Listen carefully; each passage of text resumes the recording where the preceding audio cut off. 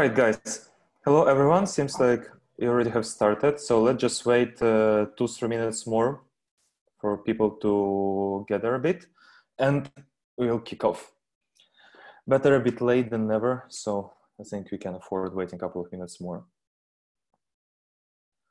Meanwhile, in uh, Slido, if you can uh, give some feedback about the quality of the sound of the picture, if you see something, if you're able to log in, so please, or in Slack, or in Slido, please uh, let us know if uh, at least something is working.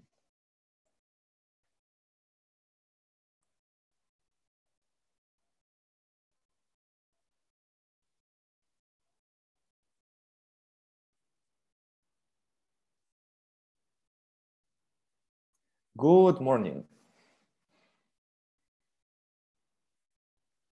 I just started answering in Slido.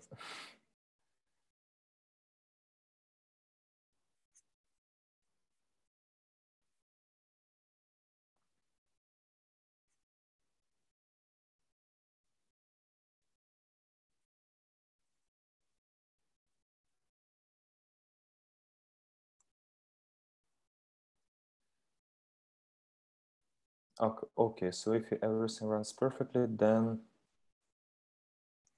just can wait maybe one minute more and we can start.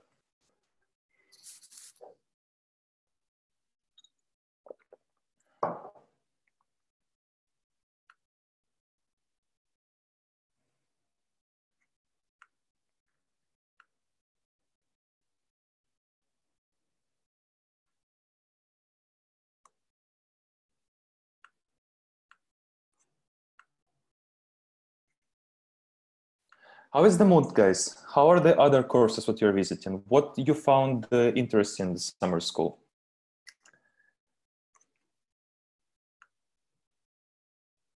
Because I'm sure that some of the topics that you most probably already have uh, seen in this course will be a good, so to say, follow up after this course.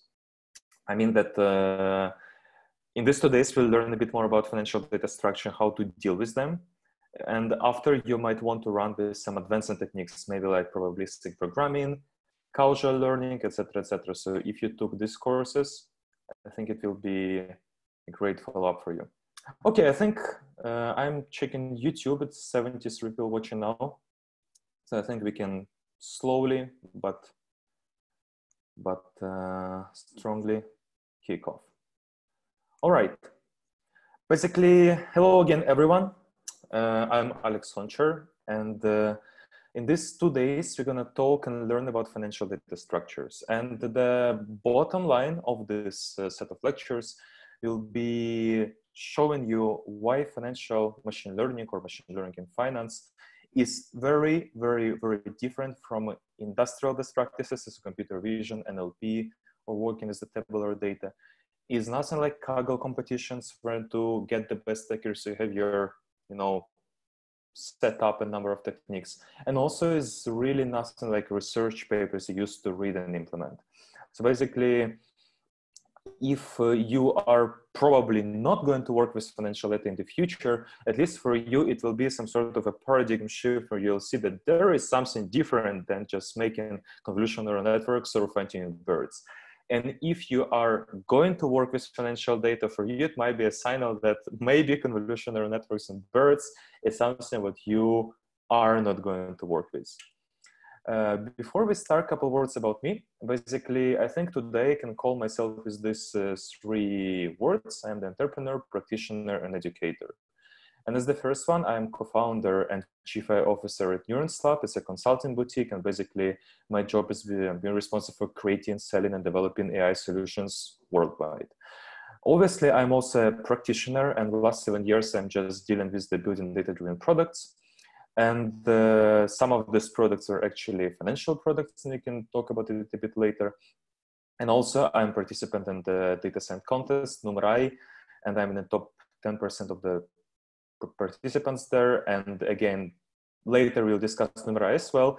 But for example, if you want to be in top 10% on Kaggle, you really want to have the best architectures, the best BERTs, the best convolutional neural networks, the best data augmentation, the best external data sources, etc., etc., etc., etc. But actually at Numerai, I'm in top percent just with a linear model. And this is also an interesting point about financial data. That's it's not the model that's going to make you good. It's the understanding of the finance and also I'm an educator. Basically, I'm here as a part of my, let's say, educational activities. I write a Medium blog with more than 1 million views. I was writing some scientific articles and I was teaching courses at the University of Verona, here at Ukrainian Catholic University, at Kiev Polytechnic University some years ago, and also I'm giving like speeches across the conferences in Europe. And uh, now a couple words about you guys. Uh, what you're working on, uh, are you students, professionals, entrepreneurs, analysts? Are you working or not working with financial data? And what are your goals? What you want to get? Because basically I'm pretty flexible and uh, yeah, have some things prepared, but uh, we can actually change, thing, change things on the fly. So now I'll stop the presentation for a couple of minutes because I would like to know what you guys are working on uh, what is your focus? And uh, yep. Uh, i'm just also will read aloud some things from the Slido so you're all aligned. Uh, found very interesting graph neural networks uh, but so far too much theory and practical stuff is tensorflow keras pytorch yeah graph neural networks is really interesting stuff. I am I also actually know just theory about them, but it's uh, but it's looks interesting question how to be good at understanding financial data? That's the focus and basically understanding financial data in practice. I mean with code that's what we'll we're gonna have both days. So this is what you guys will get.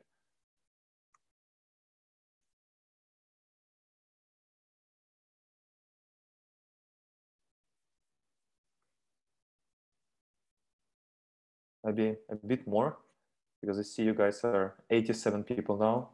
I'm sure you guys have something to tell.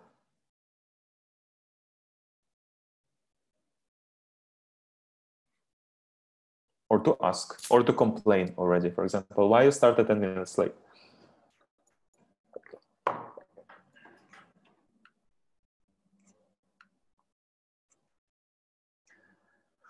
Need job experience in financial ML. I have experience in NLP neural networks. Oh, job experience financial ML is the hard one because actually to enter the financial field, you kind of need to be working in a financial institution, but we're going to talk about this as well, about job experience. Uh, I work for improvement of public procurement in Ukraine. I want to improve Prozoro system.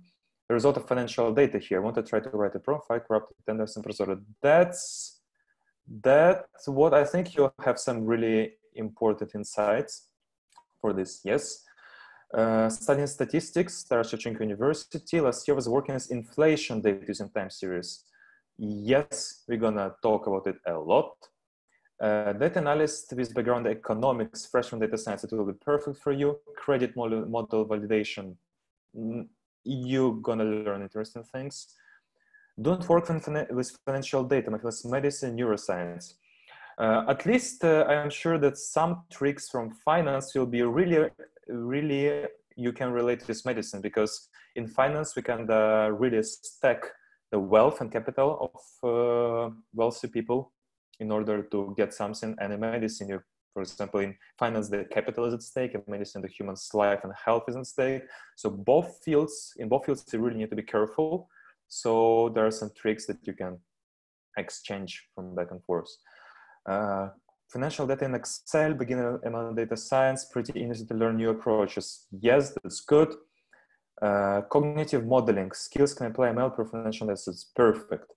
Instability in financial markets from ergodic theory point of view. Wow, that's interesting. I think you also will get useful things from this course. I like I like as your background. I think most of the things I prepared are already like a perfect fit. Uh, I would like to know common models for analyzing financial data. Yes, yes, yes, yes, yes. Practical knowledge. Most of the things, guys, will be practical. Assistant professor in UK working energy efficiency data monitoring. Interesting financial time series data and predictions. A second trust Yes, definitely. I think uh, the background we're going to study this today, days, you definitely will be able to transfer for the energy markets as well. Uh, overall structure, yes, we're going to talk about overall structures. Okay, perfect. I think we are really well aligned, so we can go go further. Uh, what I, I, just want to give a note what we are not going to discuss just, just to be clear a technical analysis the things that you maybe read the internet about some golden ratios patterns fractals and similar things uh, from my opinion this is something what is amateurish and uh, we can discuss it uh, some other time but i think for now let's leave it uh, for people who don't have, let's say, more structured education in finance and financial mathematics. Also, we are not going to talk about the fundamental analysis, about reading reports and some ratios, analysis, the more classical analysis. Basically, this is where machine learning can be applied. We're going to talk about it a little bit, but we are not going to do practical things about it. We also will relatively, I would say, skip a bit the complex financial mathematics, some advanced probability, stochastic process theory, but uh, at least some background we will cover in this course. And deep learning for price prediction is definitely not for this. Not that's not what we're going to talk about. The first day, what we're going to uh, talk about today. Basically, I want to give for people who don't have uh, financial background. I want to show a bit more like about what these algorithmic investments are about, the structure point of view. So guys, for example, who are data scientists without economical or financial education, that's the background. We all need to be on the same page. Then we're going to review financial data structures from a retail side of the finance to analysis of the alternative data. Then the most important is criteria of success. How do we actually measure that our models are doing something useful? And then we're going to have uh, two relatively big, uh, both theoretical and practical sessions. We're to perform some classical analysis classical approaches to algorithmic investments and then more like machine learning like approaches to algorithmic investments and we're to review the algorithms and apply them to the data sets so this is i think will be the most interesting part and you see i say that day one is kind of like about the safe path to save money for retirement base because i really want to start from classical approaches where you use the mathematical models to kind of learn about the market but not speculate on the market. So I think I want to start how do we, from big universe of the assets and the properties, how do we build a good investment portfolio that will at least uh, keep us safe. And tomorrow, uh, we're gonna do a bit more on the speculation. So basically, we're gonna go to zero of the active investment management. We are going to research, uh, study what is the alpha, what is the alpha research, we're to actually dive about financial machine learning for predictions. And we see why it's different from convolutional networks and BERTs and in other fields you already know. Uh, then we're gonna try to do the pipeline. Let's I call it in a Kaggle way. Basically, we do everything correct uh, to predict the asset prices. That's what people do in the academical articles. Actually, I'll tell you more. I was the one who wrote a couple of articles who are completely wrong uh, from the asset prediction, but they are basically that's what kind of everyone does today and we're to review why this Kaggle is completely wrong then we will fix fix mainly inputs and outputs with respect to the financial logic and you'll see that even linear models can perform really well if you make the data right and actually that's why course is called financial data structures because we really are not really going to work with the algorithms because algorithms don't matter here and uh, then we're going to do the right pipeline about prediction of the asset prices. And also tomorrow, I hope we'll have some time. So really, we want I want to talk a bit more about the research things, why this quantitative research is filled with the theoretical physicists, uh, and the, basically what is this job about more from the research point of view. All right. Uh, I hope this is uh, a bit clear. We are aligned. I'll just go to the slide for one more second just to check. Uh, some things. Basically, nothing, nothing very, very new. Thanks, guys, for your answers. Uh, I think we are really good to go ahead. So first, roles and goals. What people in finance are actually doing. let's start with this. Uh, for most of us, the figures in finance, this like the figures from the movies, series, or the popular figures in the real world. So we, uh, if you, I think most of you watched the Wolf of Wall Street. I think some of you watched the Billion series, and this is about some like uh, guys who are kind of to trick other participants of the market. As in case of Bobby Axelrod with the insider trading, in case of Jordan Belfort uh, trading some, let's say, not really valuable assets.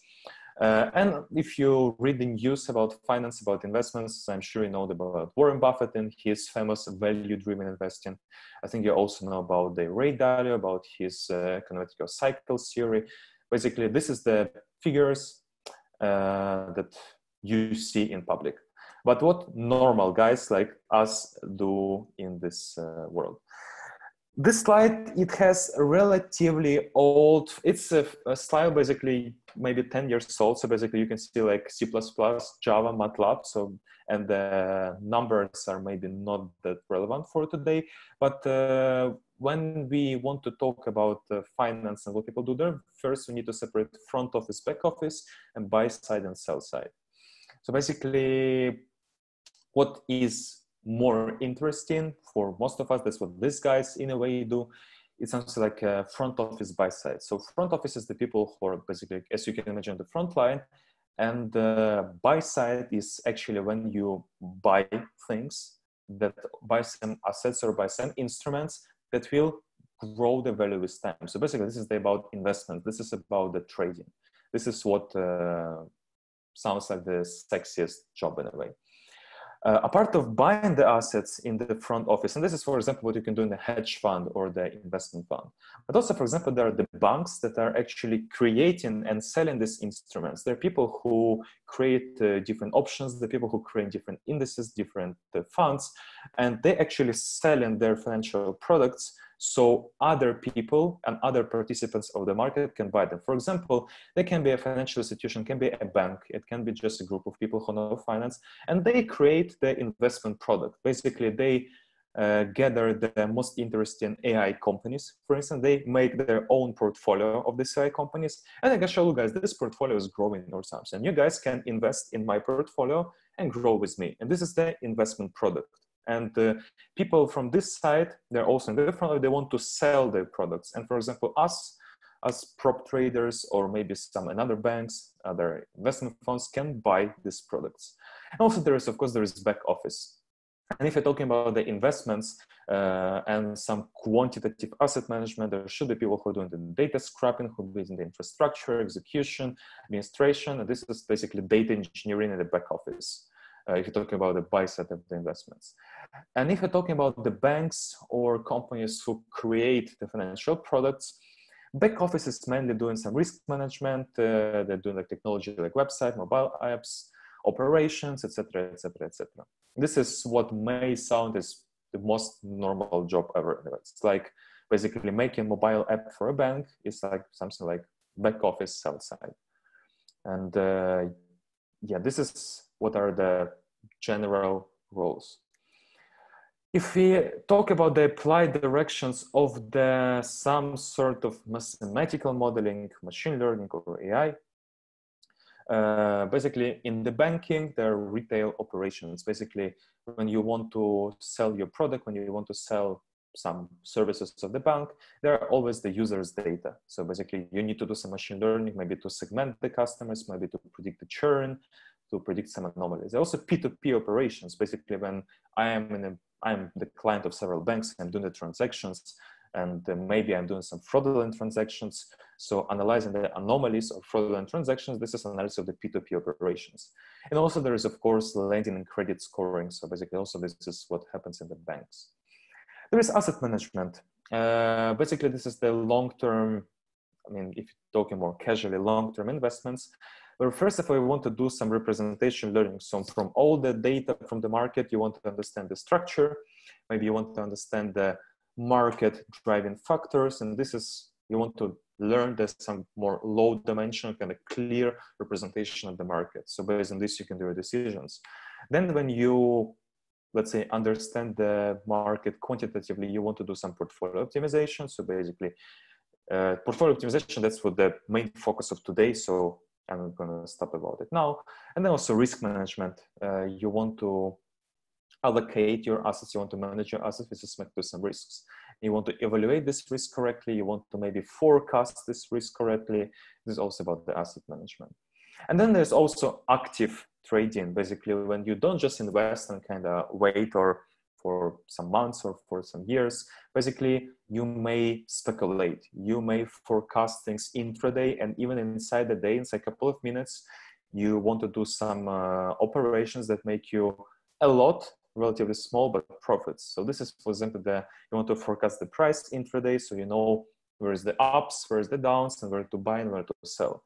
Also, there is optimal execution part. So basically, okay, you can forecast that in half an hour something gonna happen, but uh, okay, this is your half an hour window where you know that something's gonna happen. But when exactly you want to execute, uh, what bet you need to make? This is the question, the optimal execution. And then you need to turn these forecasts and your some execution policy into actually the whole strategy. This is another direction that you might work on. And if uh, we talk about the asset management and trading, because this is something what uh, will be a bit more focus of these lectures, uh, the dream team is kind of big. And also we need to see the whole, whole structure so we understand what people are actually doing. It all starts with the analysts who are actually researching the ideas and uh, imagine the crypto market. There are guys who really follow in the field and they can say, look guys, at some particular stage of the market when the new alternative coins are releasing, they can say what is really driving the market is the discussions in the Telegram chats. So their, their coins are being pumped. So if you analyze the data from the chats, we can predict the pumps and basically we can earn some money. They're basically given the idea in a nutshell. And then the data curators, basically data engineers, their job is to collect the raw data from the telegrams uh, okay, just imagine they got it. And then the feature analysts, basically they're also, they can be machine learning engineers, they can be uh, mathematicians, applied mathematicians who take these Telegram conversations and turn them into the features. For example, they can using some NLP techniques, they can ex, uh, extract sentiment, they can extract keywords, they can extract uh, amount of messages per day regarding some coin. So they build the features that by opinion of the analyst, they correlate with the future price movements. Then there are the strategists who are trying to turn these features and the market data, they're trying to actually exploit these correlations and these relationships to build a strategy. Then there are backtesters who basically their job is to break the strategy. They're trying some simulations. They're running the historical data.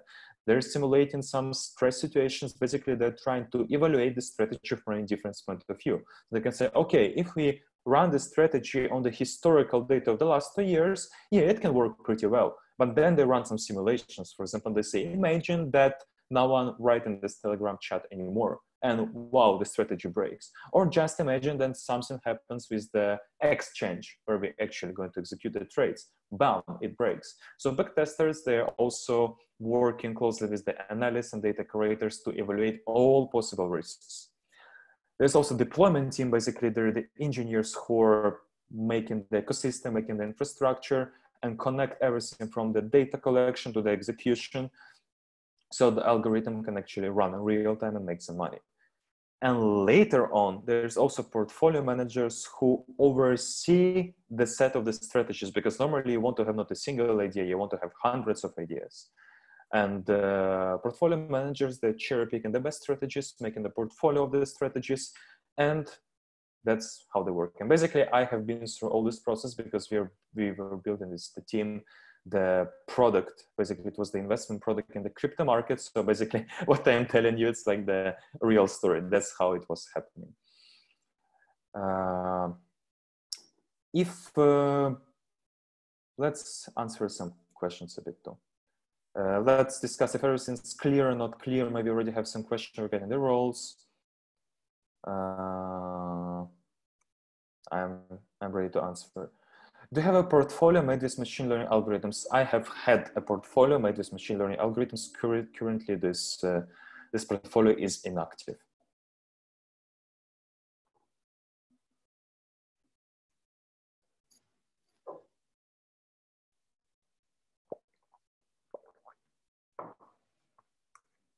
Let's just discuss a couple of minutes what we're talking about. Or if you have no questions, if everything is really clear, just write the plus or just say it's clear, okay, so we can move forward and don't waste the time.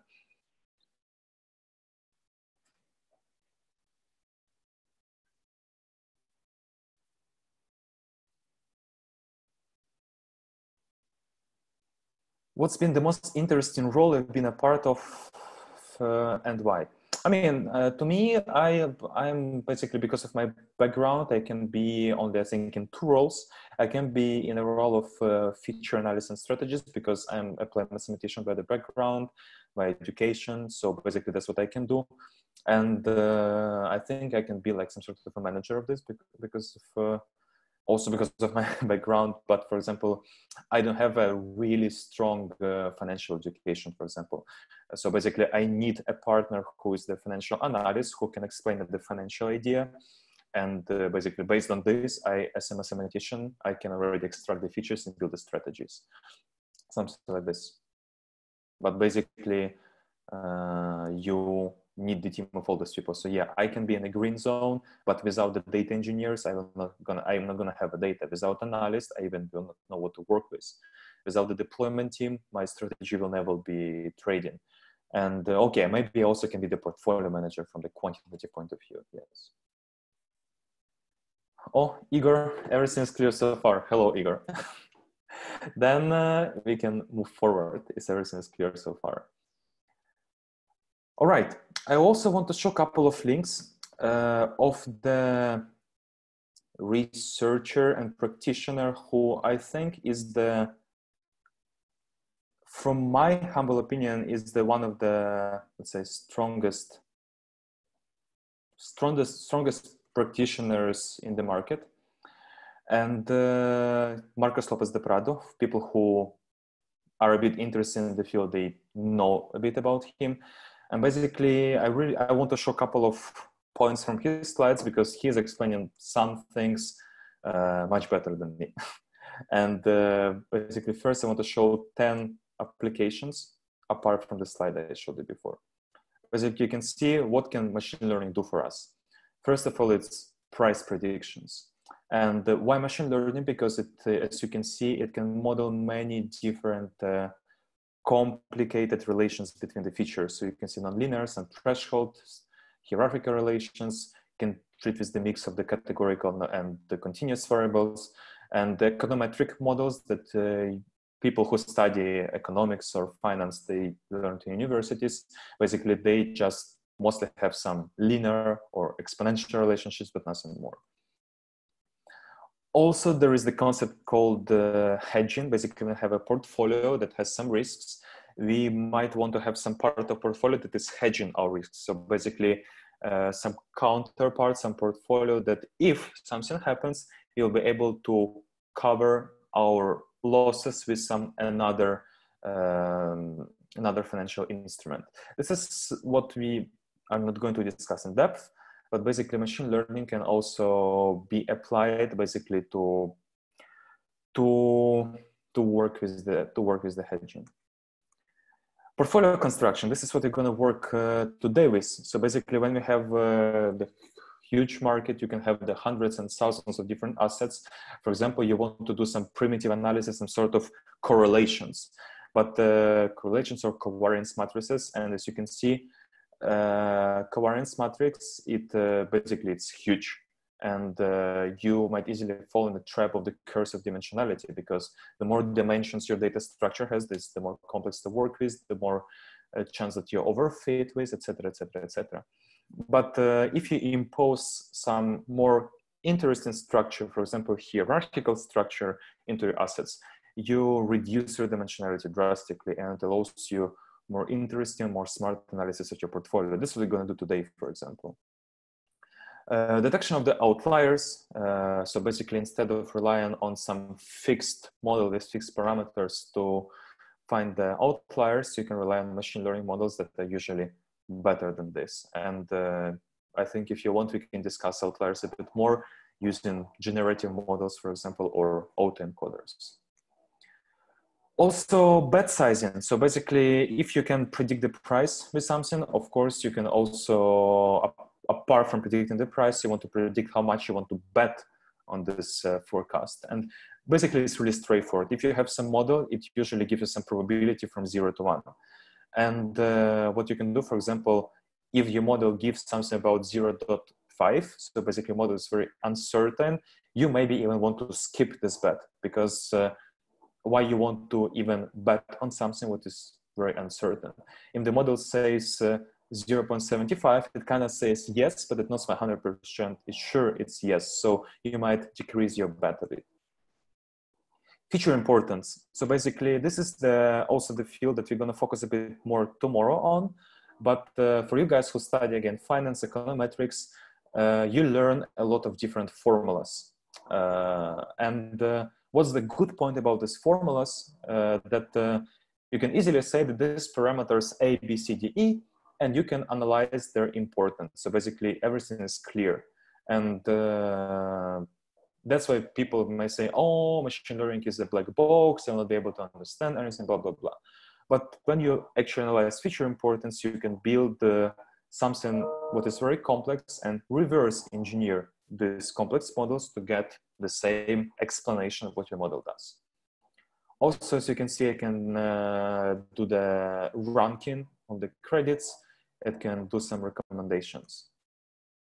Also can work with the unstructured data very well uh, because basically also why in uh, finance you work with formulas because formulas they're like super structured easy data and unstructured data it can be like news articles it can be satellite images and something else uh, again, execution also can be useful for, and detection of the false investment strategies. That's what you also will check a bit more today, how classical formulas really they are not taking into account a lot of different sources of the risks.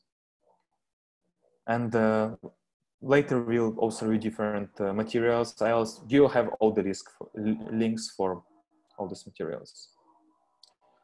Uh, links all will be on Slack, yes. You can note this question thousand so it doesn't stack up. Oh yeah, I definitely have to do it. Uh, just, I just don't know how to do it. Okay. Is Marcos Lopez de Prado a serious scientist? I heard about him and there, but always has doubts.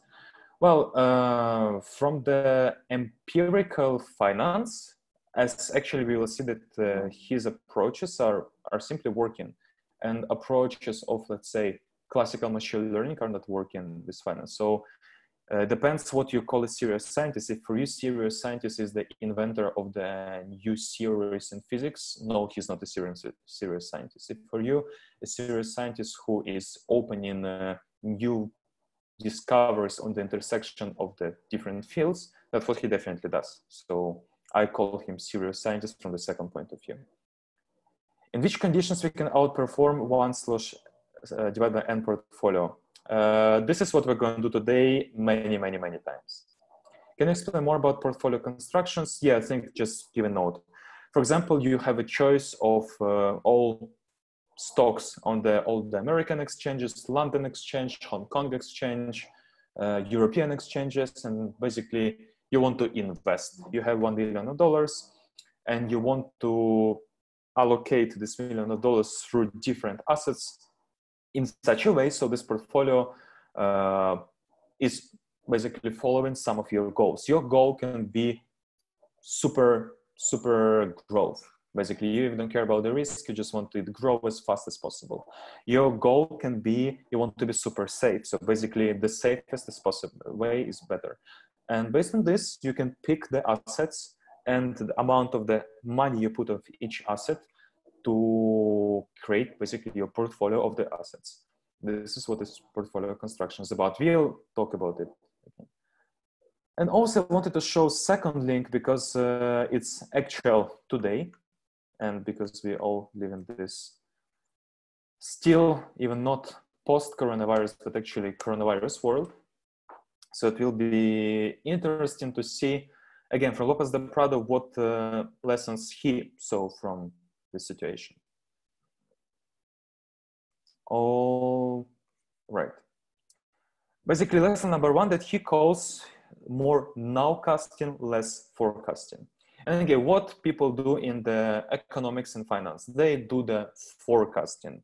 So basically all these models like uh, ARIMA, ARCH, GARCH, exponential smoothing, all these models, they're taking some inputs and trying to, for example, predict the price in the future. And uh, the problem is that uh, with this kind of approach, uh, you just kind of take the prices, for example, that uh, it's really doubtful that they reflect everything what is happens in the market. What you really want to do, you want to use data that is, let's say, another source of data that is not the prices in uh, order to not to predict something in the future, but to understand better what's happening now. And I can give you basically this is the example. Uh, in some strategies, you want to predict the, infl- the inflation rate. And basically, or to have the actual information about the inflation rate in such, uh, in some country, for example, or globally. And uh, how I do it, the government or some related financial institution, for example, every month, every year, every quarter is relating the report about the inflation. Basically, they analyze a lot of information, they're doing some statistics and say, this is the inflation rate today. But, uh, and based on these numbers, you can have some model formula that does forecasting. But what you really want to do, you want to be faster than ever. You don't want to wait for any, any reports and uh, what can you use as the let's say approximate for the inflation rate basically uh, what data source can you use that is not directly inflationary but is a sort of the proxy from the inflation rate what is the inflation it is the prices are growing for something and people may be starting to buy less this is some sort of effects that you might observe and one of the places where you can observe such effects is for example amazon you can in real time parse the prices. Uh, also, you can uh, with some hacks and tricks analyzing how much and how many things that people are buying. And by doing this, you can build your own proxy for the inflation rate. You, you can build your own formula so that in real time. So you can see on the picture, it correlates very good from the official reports. And basically, that's what people are already doing. For example, in the when they forecast the weather, they are not really like doing the forecasting for hours or months ahead. They're analyzing situation at the moment using some very many different variables. And uh, in practice, also what also happens in the finance, for example, this is all about this from the field of analyzing the alternative data for example, you want to, you work in the investment bank and you know that uh, uh, some company might grow in price if it will be, if this company will merge with some another company, if it will acquire some interesting startup. And if you analyze the flights of the investors, of the CEOs, uh, to some different regions, you can try to forecast the activity of merger acquisitions. And this is what people actually were doing. Also, for example, there were cases in China where we analyzed, you can analyze satellite images and the activities of the factories. And basically, it's very different what Chinese, uh, some of the Chinese factories they put in the official reports and the activities that are actually you can observe from the satellite images. And again, uh, people were saying that the coronavirus market crash was a black swan, like, oops, it couldn't be expected, it couldn't be forecasted. Of course, it couldn't be forecasted. It couldn't be forecasted with the econometrical models. It would, couldn't actually be forecasted with machine learning models. But if you do the nowcasting, if we analyze in real time the different alternative sources of data, not just things from the market, we can see that uh, if I take the time series, for example, of the copper price, and uh, let's consider SPX as some sort of market behavior, we can see that uh, we could see that copper price fell much earlier all the market related crashes. And uh, why it could be for us a signal that something going to be wrong with the market because this affects the supply chain and basically the market crashed and it wasn't just a black swan. If you could analyze the causal relationships that when supply chain breaks, then the, most of the economies and first of all, American economy will be affected. And that's what we later we saw in the market prices. but so it wasn't really black swan. It could be analyzed, not forecasted, but as the Prado says, nowcasted.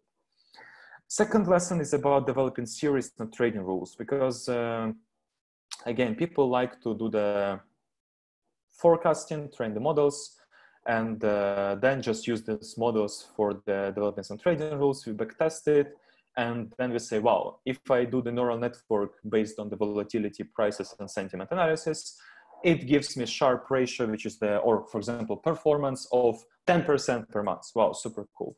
But basically, this is just one of the sort of the overfit because this finding is not explainable at all. That's what the Prado is saying, and this is like the one of the ideas of the why you want to have the uh, feature importance. That's what we're going to tomorrow. That's uh, you need to be able to explain your models. You need to build this theory. And for example, if you, even if you train this neural network on a lot of data, later you want to see that the cause effect relationship is that yes, so when the volatility and sentiment go up, then maybe the price go up. But uh, uh, yeah, maybe it's not the correlation that is that effect. It's captured by nonlinear effects in a neural network, but still need to recover these effects. You need to explain them and then say, yeah, this is my theory. And this theory is backed by the empirical results of a neural network, something like this. So just doing backtesting as a result is not enough.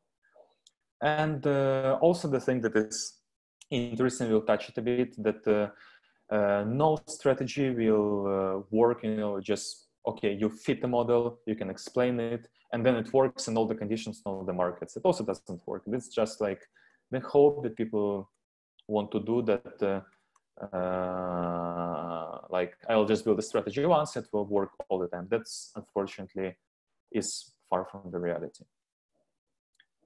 Uh, all right, let's go further with the slides. Uh, financial data structures, basically the topic of the course. Usually, what are the inputs? Uh, I'm talking now about the really like wide range financial data structures, not narrowing down to the investments. So, for example, when we talk about the banks, there's information about the clients, about transactions, etc., etc., etc. There's also called fundamental data. Basically, when you, there is a company and you want to say, okay, this company is public and it has some price on the market. What what is kind of building this price on what is based this price and it, because this company owns some assets it also has some liabilities this company has some sales has some earnings etc etc etc and when you go to the market which is full of such public companies or another financial instruments we see the prices we see the trade volumes we see the dividends that these uh, companies are paying we see the interest we see the capitalization etc etc etc there are also people and companies who are analyzing all this data. So there's a lot of recommendations, credit rankings, uh, reports. There's also news sentiment. We can consider crowd uh, as uh, also some sort of like crowd analytics. And also we touched a bit today the alternative data. For example, CCTV cameras that can track some activity around the shopping malls. So whatever Walmart is saying, the official reports from the CCTV cameras next to the Walmarts, we can always actually say how many people entering without the bags and coming out with the bags. So this is the real activity in the Walmart. Uh, the same about the satellite images in the Chinese factories, Amazon sales as the proxy for the inflation, Twitter, etc., etc., etc. And as you can see, I kind of ranked the data sources here based on their complexity with the green yellow and red. And starting with the green, basically we're talking about the client's information transaction or credit ranking. This is relatively simple tabular data. And why I'm saying relatively simple? Because it is not really stochastic. So basically, when I'm talking about the client information, if I have the client profile, basically I know this is the person who is client of the bank. And uh, his gender, age, his or her gender, age, uh, uh, account properties, how much amount he or she has on the account. Uh, it's kind of it's not stochastic. It's like the number of the on your account. It's always the number of your account. And uh, for example, the transaction, if I send money to you, it's kind of always a transaction. the properties of the transaction can change, but still as a transaction. It's not really stochastic. It has some fixed structure, this data. Uh, the same about the, for example, recommendations or uh, credit rankings. Uh, also, this the tables and the reports from the analysis. They're relatively they mean the same all the time. If you're talking about the news sentiment, for example, data from the Twitter or the CCTV, why it's yellow, it's a bit more difficult to analyze because this is unstructured data. This data is not in the tables. And you need to perform some, let's say, model heavy lifting to extract the signals. For example, when you're on a Twitter and uh, you want to extract uh, some uh, keywords, sentiment, uh, uh, intents of the investors, maybe, etc., etc., you need to run some NLP machinery, and this is uh, not so straightforward. the same with the satellite images or the CCTV cameras. You want to run the convolutional neural networks to recognize this activity. So that's why it's not that easy. Uh, and why I put all these assets, liabilities, sales, price, volumes as the red category, because this data, in fact, is stochastic data. We know from theory that these values are actually modeled because, for example, client information is modeled as the normal table. Start images is modeled as normal images. But for example, white prices, for example, I always model some Brownian motions or more complicated stochastic models. The same about the sales or liabilities. And uh, the thing is that when you have random input, it's sort of the trash input and trash in, trash out. That's what we know from the machine learning.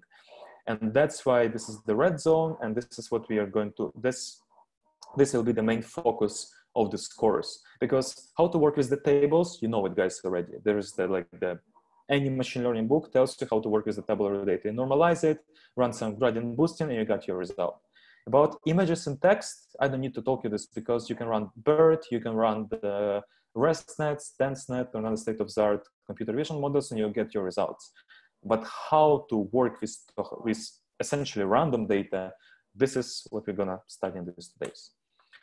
And the same about the outputs. Basically, some outputs can uh, always have relatively clear the same meaning. Fraud is always a fraud. Default is always default. Uh, cluster of the customer is always cluster of the customer. But for example, uh, to learn the factors that are driving the market, is really not that straightforward. And to define the regime change point, for example, it was the beer market that was growing, but how to find a point where market actually actually changed the behavior. It's not that easy because you need to kind of really understand what is the behavior change, and it's kind of hard. And talking about the price forecasting, this is like uh, terra incognita because price is random and you can't really do this. And this is the main financial data structures, and these are the related, not the problems, but difficulties. Let's discuss it uh, for a while basically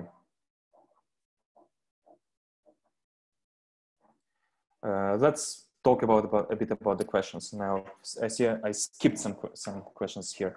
And which role from the slide does a computer graduate fit in?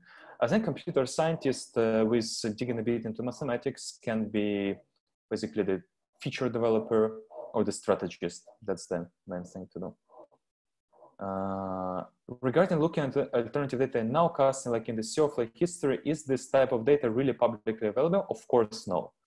Good data is never, never really publicly available. That's why if you expect to do something really, really good with the data from the Yahoo Finance, it's uh, a bit utopic because there are hundreds of thousands of people like you trying to extract the same patterns and that's why this kind of strategies that's why they have no liquidity because you all guys are going to do the same and in the same time you're going to go to the market with the same orders and there will be no counterpart to cover your orders. That's why it's uh, if you really want good strategies you really need alternative data. And it's uh, or it anyway costs money because or you need to parse twitter which you need to hire some developers to do it or you need to buy good data.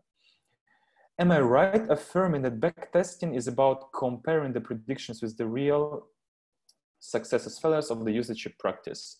Uh, in a way, yes. Uh, backtesting is about when you build your strategy. For example, you have a model that predicts the price.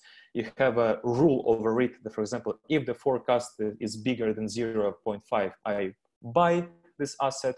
and if the price is if the forecast is less i sell this asset and then you run this model and this rule over some set of data and then you check performance of your strategy uh, on this data. So basically you see some sort of curve that for example if you've got it right it goes up. And if you've got it wrong it goes down. Uh, maybe more questions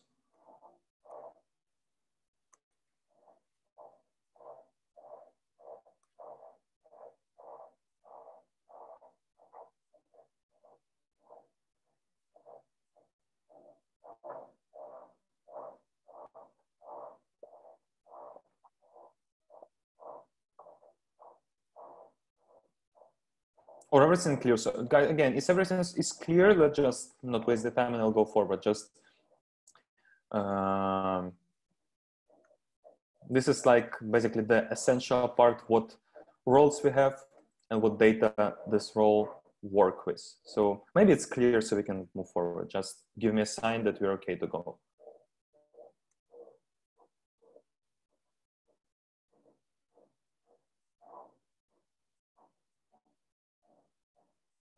I'm also trying to check uh, all the chats where the questions might appear. It seems like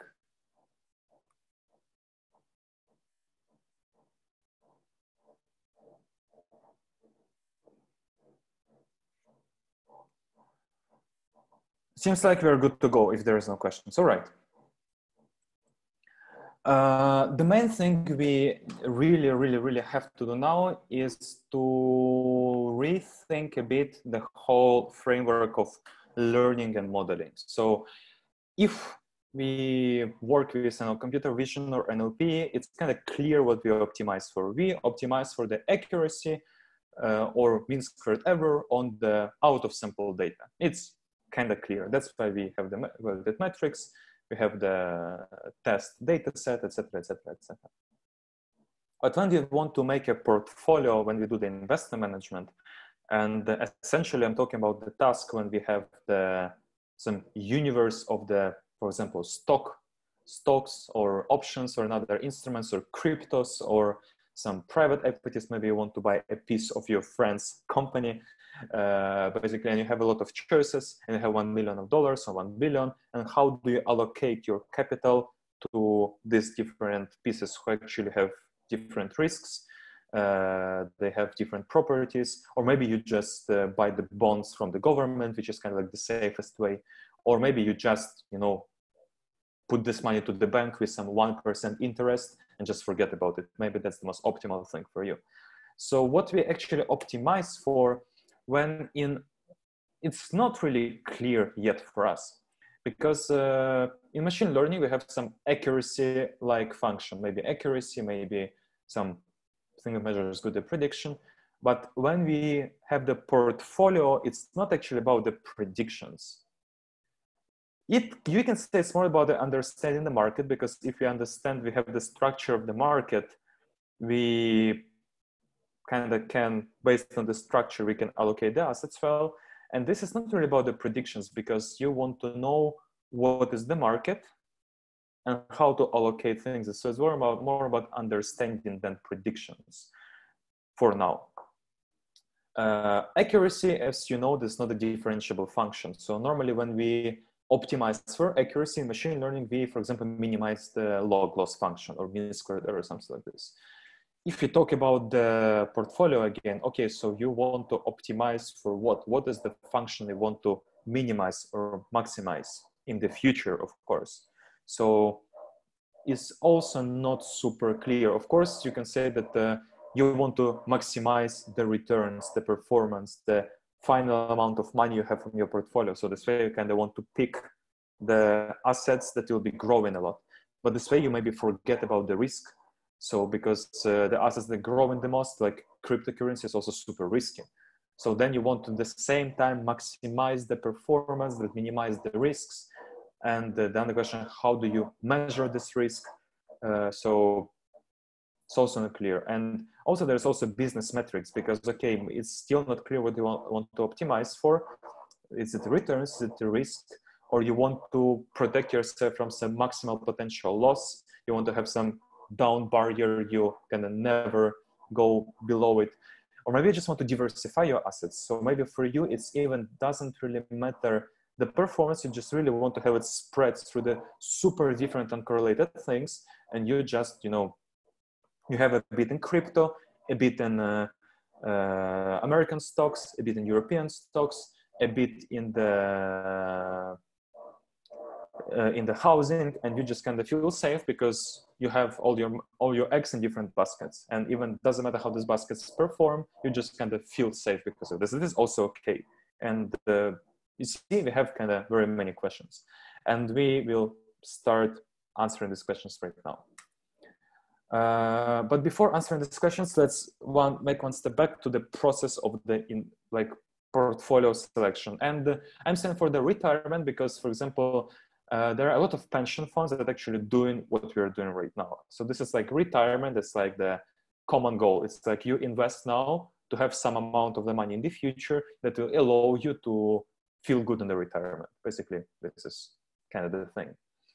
First, you need to select the universe of the financial instruments. And here, this is the choice that uh, you can do by yourself as a human expert, or if you want to rely on some mathematics or machine learning, you need to define the measure of goodness for you. For example, universe should be growing. Of course, you don't want to invest in the industry that is not growing.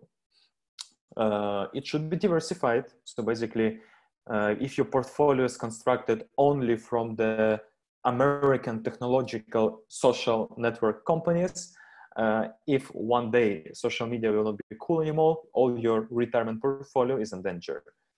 And it should be relatively calm and predictable. Uh, and predictable. So basically, your set of assets has to be relied at least on something. There must be some factor exposure. So basically, there must be some things that explain your asset behavior. So, for example, uh, when you when we in and the factors can be very different. The factors can be for example the value. So for example this is the assets of the company this is the sales of the company this is the good strong characteristics of the company. Uh, another factor can be for example you want to say that uh, i want to invest in the small companies because empirically it was shown that actually small companies they are more uh, if you invest in the portfolio of the small companies it uh, can outperform the big companies because small companies tend to grow more. And this is kind of your factor your exposure. You're like exposed to the small companies or you're exposed to the value or you're exposed to the growth or you're exposed for example to the crowds and it's also completely okay because maybe if you're the media person and you understand how the crowds work and you, you want a portfolio that is based on the wisdom of the crowd so based on this maybe you are not going to choose the gold or the governmental bonds because they're not really based on the wisdom of the crowds. But you can choose crypto and companies like Tesla that are driven by the Twitter of Elon Musk. And that's completely fine. That's your factor exposure. Uh, then you want to select your allocation scheme. For example, the allocation scheme after you selected your assets uh, that have some one or several factor exposures, you want this uh, not bet everything on one horse. You want to put your eggs in different baskets. And for example, you can just, if you have selected stock, uh, 100 of the stocks, you can say, okay, okay, for each of the stocks, I put 1% of my capital. Or you can have another allocation scheme. Basically, you can say, I want to put on the big companies a bit more and the small company a bit less. This is like the cap, capitalization based allocation, or something like this.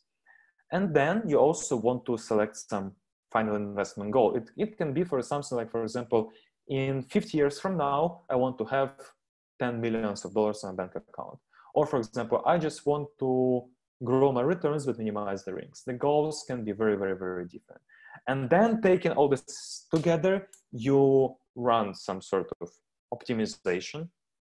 That uh, optimization, optimization with respect to the allocation scheme or allocation scheme strategy is dynamic. So basically as a result, or you have your allocation, so basically have a vector of the weights for each of the assets where you say, for example, I put 1% uh, to the Tesla, 2% to the Microsoft, 10% to the crypto, and this is your result of your optimization because you found this to be optimal on a data set with respect to your goal, for example, maximization of the returns.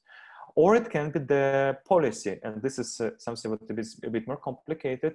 The policy is, for example, each month you change your allocation a bit with respect to the changes of the market. But this is something what is a bit more complicated, but obviously still doable, and we're going to discuss it today as well and how to measure, for example, such growth and risks. And the most, most, most primitive uh, measures are of the growth are returns. So basically, return on the time t is price of the time t minus previous price divided by this previous time. So basically, this is the percentage of how this particular asset grows with respect to some time delta. And the variance is basically also when the sigma, for example, is uh, covariance matrix. Basically here the sigma on in the form on the right, and uh, omega uh, are the weights of your portfolio. Basically, this is how you can measure the variance of your portfolio based on the covariance matrix and the weights you allocated on this covariance matrix. Basically, the higher is the variance, obviously, the more risky your portfolio is. And uh, the more, the bigger returns, the big, the more you earn. This is like the most primitive metrics you want to track. Explainability by the factors. There's several interesting uh, models that basically they're trying to predict the growth or basically to explain the price on the market based on something useful, based on some feature. And the, the first econometrical model that appeared was called the capital asset pricing model. And for example, RE, return of some asset E, basically equals RF, which is risk-free rate. Usually in the series, basically most, if you are from the finance or economics world, you know this, that the models are built in such a way. So basically the, the return of some asset has to be in a way at least bigger than the risk-free rate because what's the point of investing in the stock market if you can just invest, for example, in the governmental bond or you can just give money to the bank which gives you 1%. And this 1%, which kind of like risk free. It's like uh, you will get this 1% anyway. So basically, obviously, if people are risking investing in the stocks, they expect and the market expects to get more than just this 1% the bank. So this is like this risk free rate plus beta multiplied by whole market return minus this risk free rate. So basically, as you can see, the main and risk rate is obviously something that is fixed, is the fixed variable.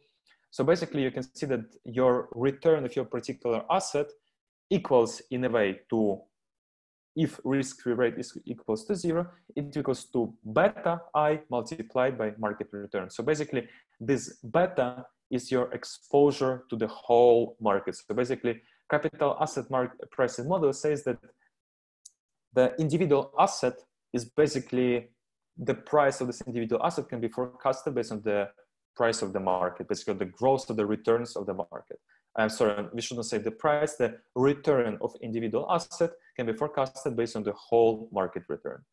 Of course, this is something what is not really realistic assumption because you know market can go up, but the asset can go down. That's, that's what happens all the time. So for example, the next model is a bit more complicated, It was invented by Fama and French. And here the return is already based on the three factors. And for example, uh, okay, there's still risk-free rate. Then you can see that the first thing is uh, basically the market return KM. And then there are two things that are basically, they represent size of the company and value of the company. And uh, because Fama and French, they saw that, for example, the small companies, small capitalization companies are growing faster than the big ones and the value is also basically the value based uh, the value of the company is also the, the more the value the more it grows so basically this is like the examples of the formulas that can explain the returns and basically even if you do some complicated machine learning that's for example to saw one of the slides you want to do the feature importance to understand what is your factor exposure because you will know that for example you want to invest in the big value companies like coca-cola or mcdonald's and that's what warren buffett does you want to invest in the low capitalization, the small, relatively small businesses because they tend to grow more, or something like this. Uh, this is some examples. And in our case, what we ultimately want to have is, so to say, some deep learning model, something like this, but it should be explainable. So basically, we want to explain the returns of our asset based on some features. Then what, what can be allocation schemes and diversification? Basically, uh, for example, capitalization based is uh, when you make the percentage of your capital you put on each asset based on the capitalization, so to say, size of the company. But it can be the problem. For example, if you were a Finnish uh, pension fund, uh, like what, 10, 15 years ago, uh, one of the biggest Finnish companies was Nokia. And it could happen that like uh, in, you could rely your pension mostly on the Nokia. But we know that Nokia is not really a good situation at the moment. So maybe capitalization based is not always the good choice. Equal allocation is something what uh, is in a way more safe. You just put equally equal amount of the X in all the different baskets, and this way you can feel more or less free. There also can be a bit other measures for risk diversification because uh, also when you put the equal amount of money, it doesn't mean that you, that you put into equal amount of risk because some assets are more risky, some assets are less risky, and uh, maybe you want to diversify in another way. And this is kind of your choice to do. And uh, at the end, you want to measure some performance metrics. And one of the, let's say, standard choice you do is called Sharpe ratio. Basically, it's expected returns. Basically, this you calculate the returns of your portfolio, and most of them, if the most of them are positive returns, it means your portfolio was growing. So expected return can be, for example, 3%, like your average return on your data.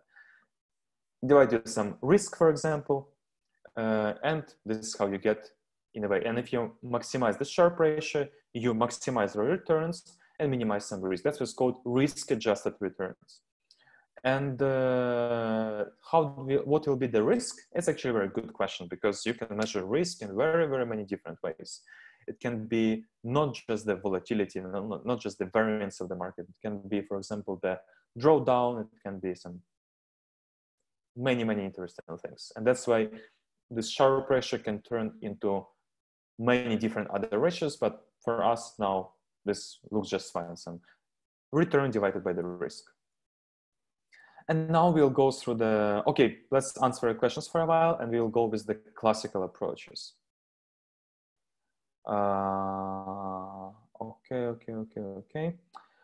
How much of the strategies can be automated? What's the role of the analyst here? Basically, I think all the strategies can be automated, but uh, the analyst is the person who understands the market and the person who basically selects the uh, the features for what's driving the market. For example, data engineers, data scientists, uh, so they normally they don't study the market, and the analyst is the one who is saying this crypto market, this particular cryptocurrencies are driven by the sentiment from Twitter. Then the data engineer is parsing the Twitter, data scientist is making the strategy from this uh, parse data, etc., etc. I missed what is OOS data. OOS is out of sample. So basically, this is the data that when we were doing the modeling, the optimization, this is the, some data that we weren't optimizing for. So for example, we are optimizing on some historical data, of course, because that's what we see, but out of sample is in our case, for example, future data. You want to increase returns and decrease variance. Yes, basically that's what, we want to do. We want to earn more, but at the same time, we want to limit ourselves to the risk. What is the potential of reinforcement learning the portfolio optimization? Has it any chance to be popular and usable in the nearest future? It is popular and it is used in the nearest future uh, because of the main reason, because market conditions are changing all the time. And uh, we cannot just, you know, when we optimize, let's say this normal optimi optimizer, we found just one set of weights and we can use it for all the time in the future. But in reality, you want to kind of review your views on the market and you'll see it today as well. By how much the market inefficiency can violate those theories and how to deal with this randomness. Uh, basically, all these theories are in a way empirical and uh, basically market, market efficiency and efficiency is also a theory. So basically, uh, if we say that the market is inefficient, then yeah, we can find some things how to exploit the market. If we say market is efficient, we can't exploit the market. But uh, uh, it's also a theory, and I think that something what is a bit uh, irrelevant because uh, this randomness is not really a randomness because uh, again, we will see, I think not today, but tomorrow, randomness is not really a randomness it's uh, still some process that has some properties. And for example, the randomness of Tesla stock can be explained by some things. The randomness of the inflation, inflation rate, rate can be explained. And all these randomnesses, they can be really well described by different models. And that's why, for example, uh, still pension funds are growing. That's why the stock markets are growing because we can explain this randomness with something. That's why, for example, in the slides I'm saying we need, we want to have some exposure factors that explain this randomness. Why Sharpe ratio is still used when there is Sortino ratio which doesn't penalize for the uh, positive volatility? Uh, because for some classes of investors, uh, the big uh, jumps up are also not really good. And uh, basically there are some classes of investors that uh, just want to have their portfolio kind of almost as a straight line, so it's a strategy not every investor is maximizing for the returns. Some maximizing for the diversification. For some people, the portfolio can actually even go down. But if, uh, while it's well diversified, it's still okay. That that's why we want to see this uh, uh, this pipeline again. The the goals and allocation schemes can be really, really very different. And that's why I have this kind of generalized framework. So we can have uh, any data, any factors, any allocation scheme, and any goal. And then we just optimize for it.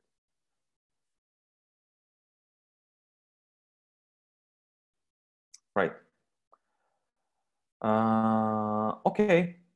Now let's let's let's let's talk a bit about the classical approaches, if there is no questions left. All right, what are the most of the classical approaches about? Basically, we discussed that we have optimization task.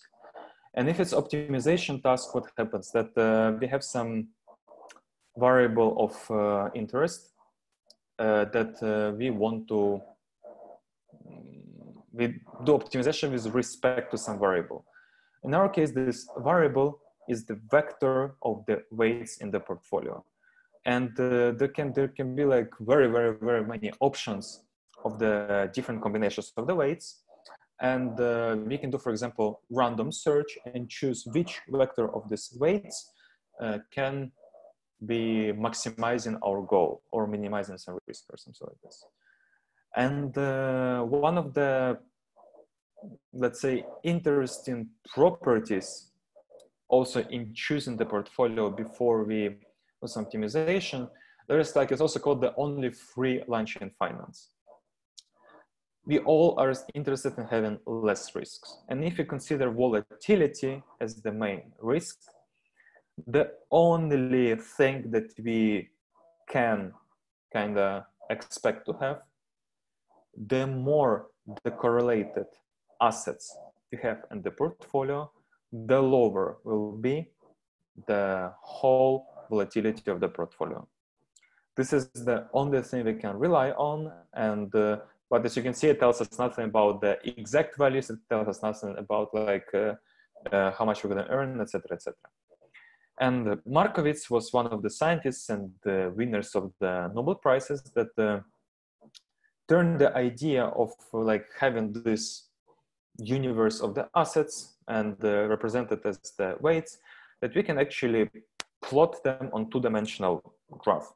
And the two-dimensional graph has two axes that one of them is basically the risk, standard deviation, volatility, or some other measure of risk, and expected return, uh, which goes from low to high in most of the cases, uh, in both axes.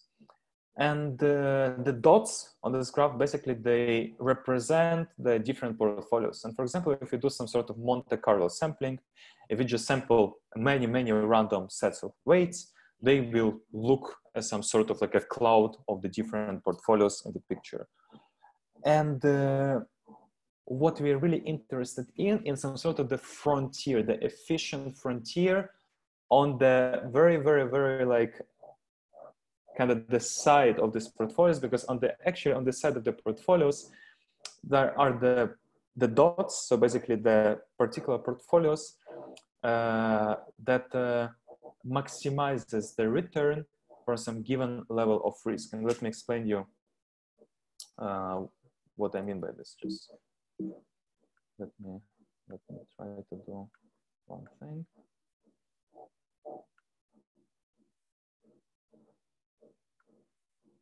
Mm. a bit difficult. Wait guys moment. Because I don't see the, the cursor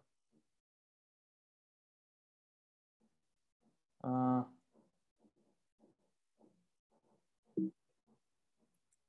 Okay, sorry. Okay, let me do it in a simple way.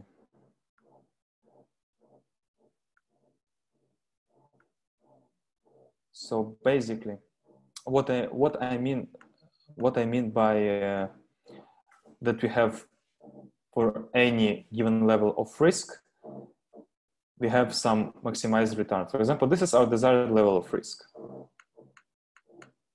We can't afford volatility more than some value of five, for example. And exactly here will be the portfolio that has the maximal return for this exact value of risk. And for example, if you want to have risk to be of 0.3 or something, your portfolio, again, optimal portfolio in terms of maximized return will also lie on this slide. So basically, the sufficient frontier is something you can choose uh, or for example your desired target volatility desired risk is like i don't want to go more than this risk. And there is basically only one portfolio exactly on the outer line of all the portfolios that corresponds that corresponds to the maximum possible return based on this risk. And you can do actually vice versa. You can select your desired return here. For example you want to make 10% or something. And here you can choose the best portfolio in terms of risk. So for example, if you choose this portfolio, it will be the less risky portfolio that gives you 10% of the expected return. Because if you choose something here, it already have more risk. Or here also already has more risk. The same about the volatility. For example, if you want to have desired volatility of five, if you choose the portfolio this one, will have less return than you could have. So basically this is uh, this is like the uh, the idea.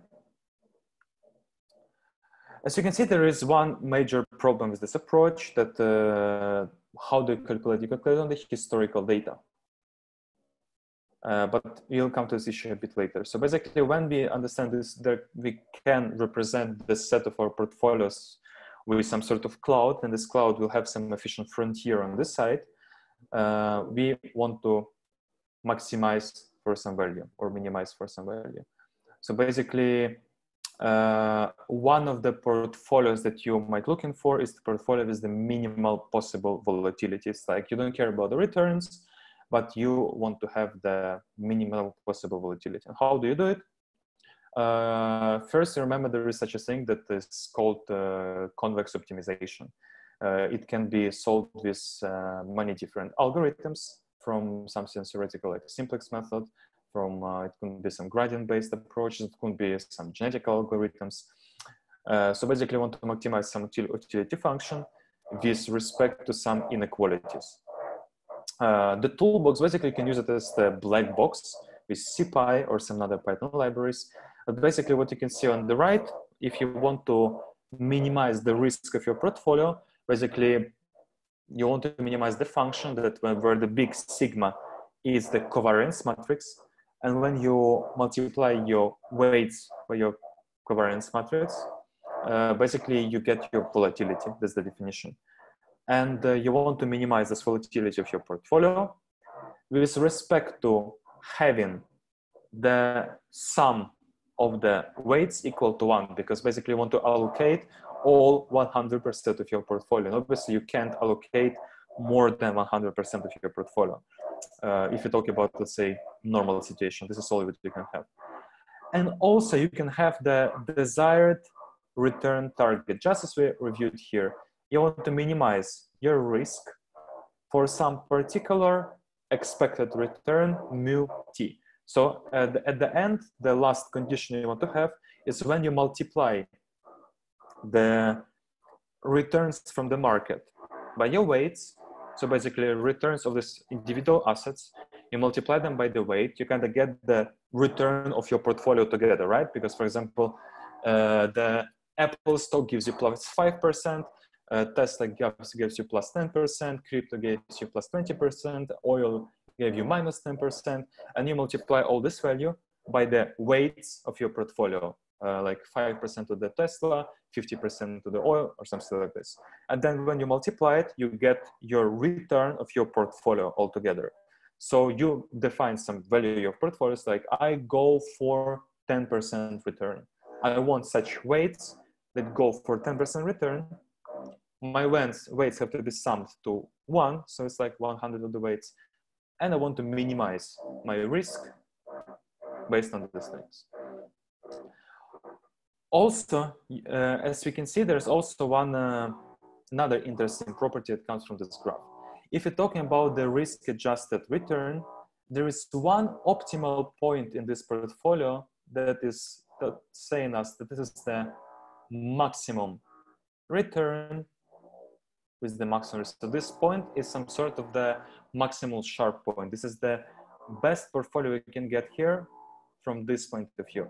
Because uh, if you go a bit higher with the return, you'll have more risk. And if you get uh, lower is the risk, you have lower return. So this is like the optimal point. It's called like basically this point you can get by uh, dividing uh, returns by the volatility. And you can also optimize for this, for the maximal Sharpe. And as you can see, uh, you want to maximize, maximize again with the set of weights omega, where uh, you already have what are your inputs here.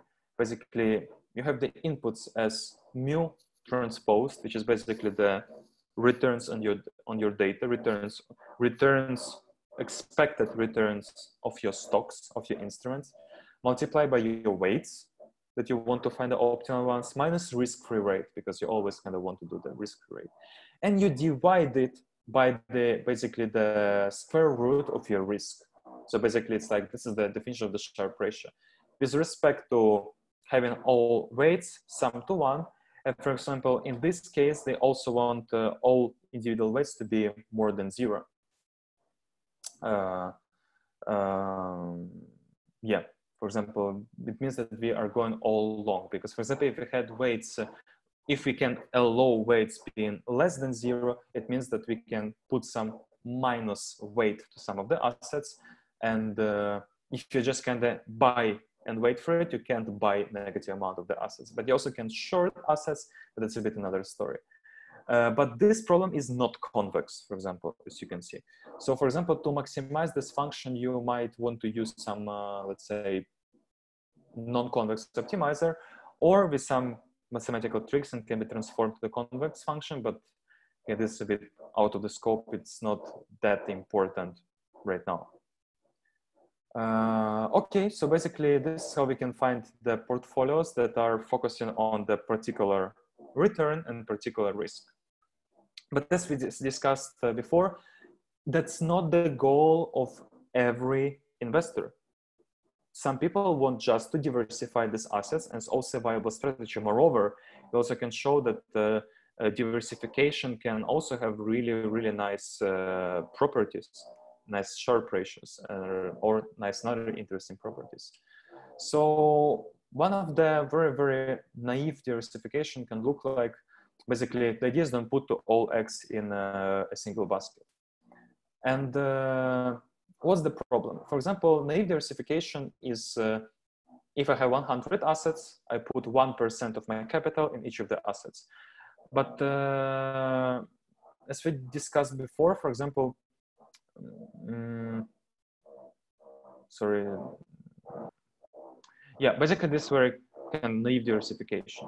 And there is a formula that's called uh, like effective number of constituents that measures this diversification and uh, it also has a degree of freedom. For example, if you put uh, alpha equals to two into this formula, what you'll have? You basically will have that uh, you want to put uh, kind of basically one divided by number of the weights, a number of the assets to each asset. So basically it's alpha equal two in this formula. You get one divided by n, which is like the most primitive allocation, but you can scale it as you can see. With the alpha, you can scale this formula. Why we want it? Because with the Sharpe portfolio, for example, we can have, uh, when we optimize it, we can have such a portfolio when from all 100 assets we have, we can heavily invest in three. And all other 97 have super, super small percentage or even no percentage, which is basically means, okay, your portfolio is good from the Sharpe point of view or from the return point of view, but it's not diversified at all. And uh, if you something happens with the stocks that are growing now or opting from the Sharpe now, you'll fail horribly later. Another idea of the diversification is basically to apply the same, but here, for example, we optimize for having equality of the value, basically value of the weight. So basically in the alpha equals to two, you want to have, uh, in case of 100 assets, 1% for uh, each of the assets. Another problem that uh, even if you put 1% of the, of the each assets, uh, some of the assets can be very risky and uh, some of the assets can be not risky at all. So, okay, you diversified your from the dollar point of view, but you didn't diversify from the risk point of view. And you can apply literally the same formula, but uh, now ranking each asset not from the point of view how much money you put on this asset, but how much risk gives you this asset. And uh, for example, I mentioned a portfolio which has like uh, uh, half of the portfolio is in a risky asset with 30% volatility and uh, some not risky bond with 10% volatility. Yeah, it's like uh, equal allocation, 50-50. The efficient number of the constituents equals to uh, two. So basically you have two assets, but two assets, two portfolios, okay, you split it equally, but uh, they're completely not equal from the risk point of view. So you're risking a lot to lose into the risky asset compared to the bond. And instead of stacking and kind of dividing, normalizing for the weights in the asset, you can do the same for the volatility. And basically you can see the formula stays the same, just instead of uh, having this omega, which is corresponding for the weights, and you want to have equal omega, you want to have equal Q, where Q is basically risk contribution. But the idea is, uh, is literally the same. Another options can be, as you already saw, it can be minimal variance, there can be maximum diversification, again, maximum decorrelation. For example, you want uh, to spread your portfolio into maximum not correlated assets as possible, as, as you want. So the idea here that A here is this correlation matrix, and uh, you maximum and you want to minimize the correlation in the correlation matrix between your assets, right? So basically, if your correlations, pairwise correlations are low, you minimize this matrix. Uh, sorry, you, basically you minimize the correlations in the portfolio. Of course, the matrix stays the same, but you minimize the contribution. So basically, that's what you can do. And uh, one very, very, very cool point about this framework. So basically, we saw this, for example, minimizing the risk with respect to some target return, minimizing, uh, maximizing Sharpe ratio, uh, maximizing diversification. So basically we can maximize this value ENC. We can maximize this ENCB. We can also have many different other things that we can track. The coolest point is that when we deal with the optimization framework, we can stack these functions together.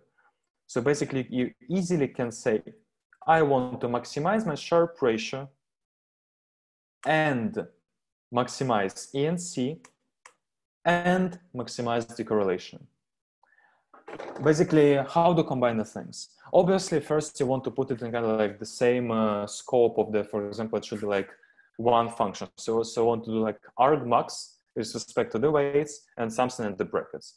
So for example, if the originally it's uh, minimization, you want to put minus here and minimizing negative of some function, you're gonna maximize it. So this is how you put it all together to minimize everything or to maximize everything. This is point number one.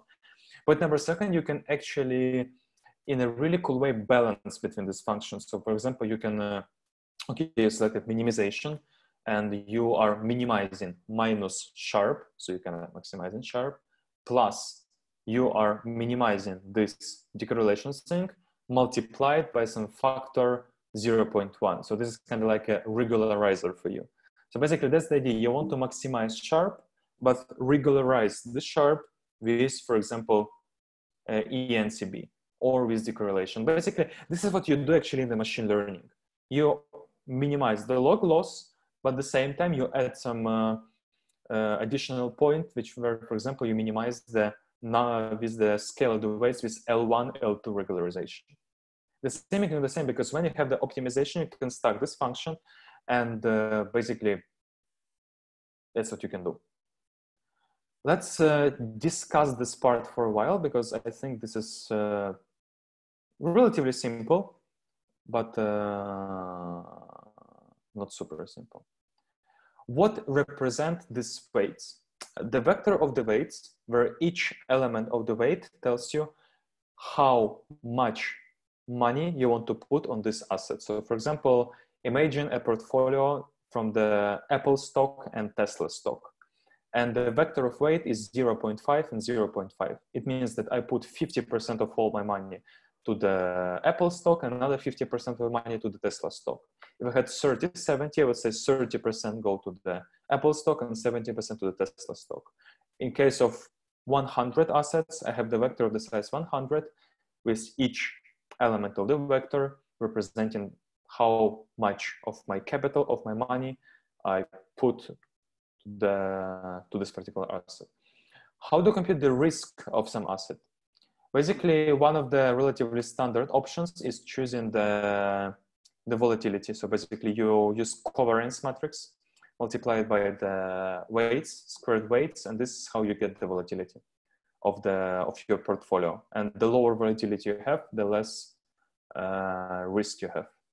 This is what uh, one of the choices for the risk. But again, when you have the practical, the lab session, we're gonna review many, many, many others. I'll go a bit further and you please keep asking the questions. All right, so we define the framework. We can now maximize, minimize many different functions. Um, the problem is that we do it all on the in sample data. So we do it on the all some historical data set. So basically, when we say expected risk and expected returns, what it actually means. And uh, normally, at least in this framework, we assume that we can't really forecast the returns. So basically, we just calculate the returns from the data. And we, okay, for example, if the Apple grows 3% per year, we can assume that the expected growth will be 3%. And the same, we, can, we keep the fixed covariance matrix because covariance is how the assets move together, how much risk they have. Uh, so basically we consider this covariance matrix also is the risk measure that kind of still stays the same. So we are kind of in a huge risk to overfit here. So that's why it's always good to track some additional metrics that uh, at least tell you if you're going good or well. For example, one of these metrics is information ratio.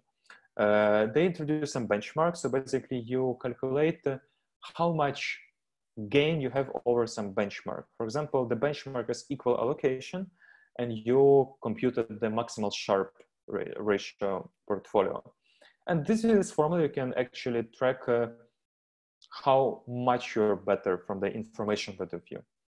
Uh, you can also calculate maximal drawdown, which is also interesting measure, which basically tells you uh, what is the maximal fell you have, and also, for example, maximum drawdown period. For example, how long your portfolio stays under the water in the negative phase. Also can give you the nice insight about your portfolio and your, its properties.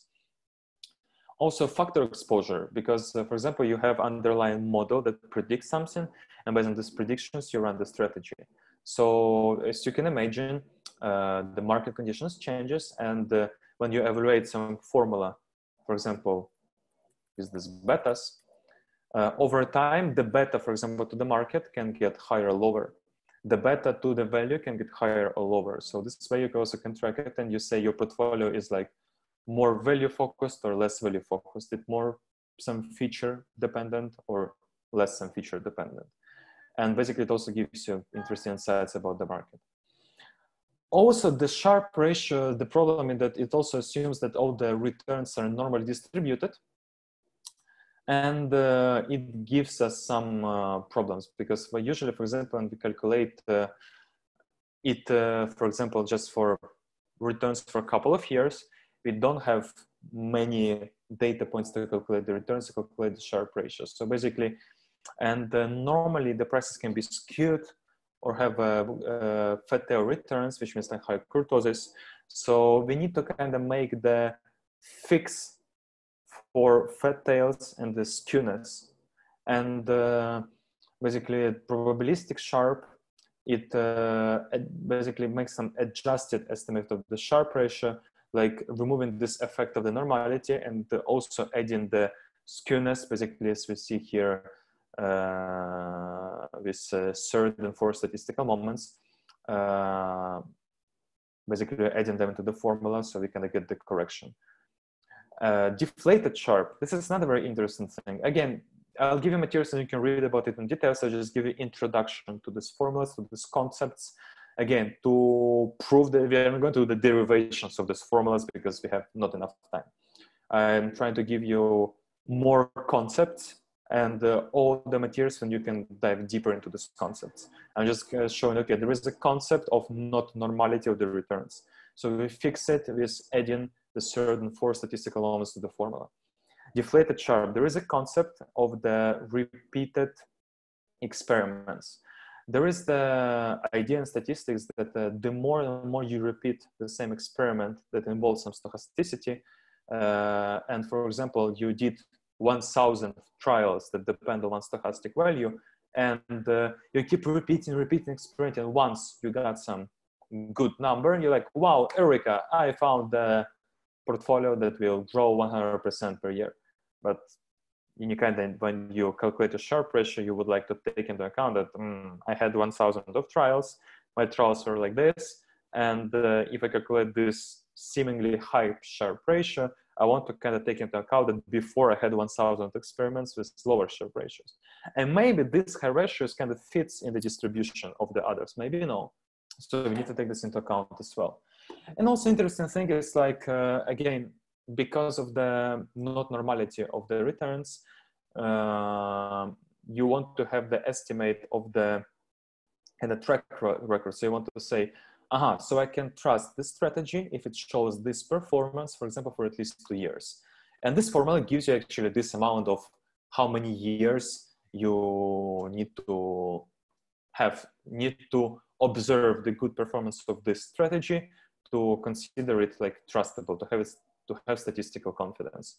So basically, if uh, the strategy has kind of like uh, crazy fat tails, you really need to see maybe like 50 years of the good performance so to really trust it. But for example, if you have really nice normally shaped returns and uh, this nice normal distribution is, the, is has the mean value of, for example, of 1%, then you don't really need to speculate for a long time because statistically it's a nice distribution of returns and you can actually trust it.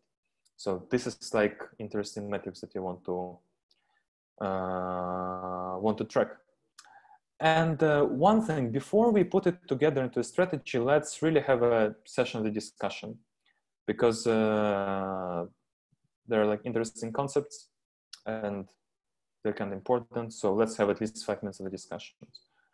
How do you compute the volatility? That's guys what I showed you on one of the slides here. This is how you compute the volatility of the, your portfolio. Uh, have you implemented any algo trading bots using these new ideas? Guys, uh, when talking about the algo trading bots, I uh, immediately have a bit like um, a bit negative opinion about this because when people say like algo trading bots, it's usually something about like, wow, it's a bot that just works and earns money. Um, the kind of essence of quantitative research that it's not like you develop a bot and it kind of works for you. Um, the bots that they were developed before, they actually were built without using these ideas. Basically, they were using, but they were working well because they're using alternative data. So basically, financial market was just one of the sources of data. It also had Twitter, also had, for example, GitHub. So for the crypto taken into account other, other data sources, it could work pretty well. It was a couple of years ago, we didn't, didn't know about like cool smart ideas, but it was working fine thanks to alternative data. Uh, but the thing is that uh, it's like um, the bot itself, one single bot, it in a way means nothing. Because uh, uh, you don't really want to allocate your money to one single bot. Because um, to the bot you need to understand the exposure of the bot. You need to understand the, to what features exposed. You need to understand the risk. Basically you want to track uh, this and many others metrics of the bot you need to run simulations to check how the bot works so basically, when you, there is really hard to make uh, a single bot that you want to invest to. But as we saw here, the only free lunch in the finance. When you have many decorrelated assets, you get a portfolio that is less risky. So when you have really, really many uh, strategies, which could be bots, they have to be really decorrelated. They have to rely on completely different series. And when you have 10, 20 bots that are completely different, and it's super hard to do, to have 20 completely decorrelated bots. And when you merge them into, for example, maximum short portfolio, then when you can success. Please check out top ranked questions too. But I think I was already answered all of them. What is the potential for reinforcement learning? I already answered that. Sortino ratio, answered that. So um, I already answered these questions. I'm a second year undergraduate with occasional knowledge in ML. Uh, how do I get started in this? I have zero knowledge in economics, finance, etc. Book, books, extension, useful resources. Everything will be basically I plan to tomorrow. In the end, I plan to give like the whole roadmap. So I hope everything will be answered basically I have the whole roadmap uh, kind of way from zero to from zero to making the strategies.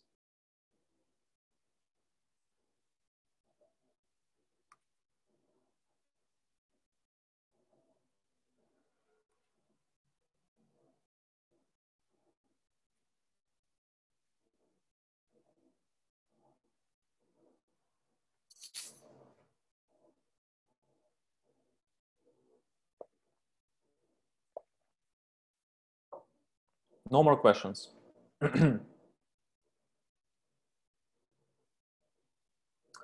when I see no questions regarding the topic, uh, it means uh, or it's too difficult and uh, people even like don't understand what to ask or it's too easy and it's boring for you guys. For example, basically I just received not so many questions about uh, uh, the topic, for example, how to compute the volatility, what is the risk of the asset, what represents the weights. Okay, that was about the topic. But uh, so for you guys, it's clear, basically. Uh, the idea of the optimization, the idea of uh, taking some data, calculating the expected returns of these uh, stocks, which can be, in our case, can be, for example, just average return for 10 years. And since we still don't know how to forecast, we say, okay, we expect the Apple to grow 3% every year. Uh, then we calculate the risk which is the covariance matrix. Uh, and we kind of play with it. We play with different objectives, with different, uh, we combine them, calculate the measures, and uh, how can you oh how can you find good factors cps market cap value growth already known for all yeah basically that's that's the question of the research for example when uh, we are working in the crypto uh, we kind of we had an analyst the person who's like deep into crypto and uh, this person for example really is into the crypto market and for example when we were uh, getting the data from the telegram because this guy said the market is being pumped. If you can get this Telegram chats where people pump it, we can get it. We, that's that's how the market grows. At least some alternative coins, and that's how we did. That was the factor. It was for us. It was basically the pumping factor. And uh, basically, how do you find the good factors? Actually, there are like uh, three sources of the factors. First one is the like so to say global factors, something like political, economical, something like very like macroeconomical. Second is some uh, like microeconomical factors, and for example, in crypto, pumping is some sort of microeconomical factor, and also can be statistical factor. For example, if you are like uh, trying to extract some mathematical properties from the time series, but this is uh, something what I think is really hard. Is it ever possible to make sure you didn't overfit? If there is statistical evidence a sort of profitable strategy was already eliminated by market efficiency, is it fair then to say when we calculate with everything, we still just make bet that will work in the future? Uh, basically, yes, you're right. Tomorrow, when we basically, I wanted to talk a bit more about the overfitting tomorrow because tomorrow we're going to talk about and do forecasting with the machine learning. So overfitting machine learning is kind of a bit more close together. And basically, there are different ways how you can fight with overfitting. Um, I think let's, I'll just, let me just find the, the slide that talks very, very clearly about how to fight, how to, I wouldn't say it fight the overfitting, but uh, at least how to track the overfitting.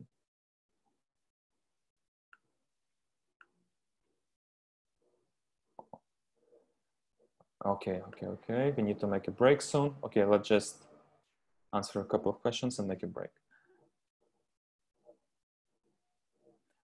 Mm, there was just a nice uh, map of the methods. I just want to show you this map. Yeah, basically, guys, if you can see, the overfitting has like mainly two big sources. And first source is the training set. Basically, this is this thing, for example, when we say the apple will grow 3% as we see in the training set, the covariance will still be the same as we see. This is like the, the problem having the training set. And what we can do, we can uh, generate synthetical data sets. We can kind of do resampling on our data. We can mix our data and have different synthetic data sets or sample with the Monte Carlo. Uh, we can apply some regularization and we can apply regularization not only to the machine learning models, for example, when I have the covariance matrix, it's a model of our risk. And as we will see a bit later, we can shrink the covariance matrix and say we'll kind of regularize the covariance matrix as a model of the risk. So this is what we can do with this the data. And when we actually do the testing, for example, okay, we fit some models, and for example, model for expected return for us now is just the average of the return from the data. The covariance, okay, we can shrink covariance somehow. We kind of fit, do the optimization, and we got our weights, which is our strategy. Basically, strategy for us now is the set of weights. And when we do the test set, when we check the performance of our strategy, uh, how we can actually ensure that we didn't overfit. Report all the trials, trials, and then we have deflated Sharpe ratio. That's what I showed you, the formula for basically ensuring that uh, from all our trials, trials, what we did, good result is not the overfit. And also we can actually generate a lot of different synthetic data sets, different synthetic samples. For example, okay, I, I have 10 years to fit my model, 10 years to have uh, one single backtesting, but then I can, for example, uh, this 10 years, I can kind of mix them inside and I can have a new 10 years, a new time series with the same statistical properties. I can run backtesting there.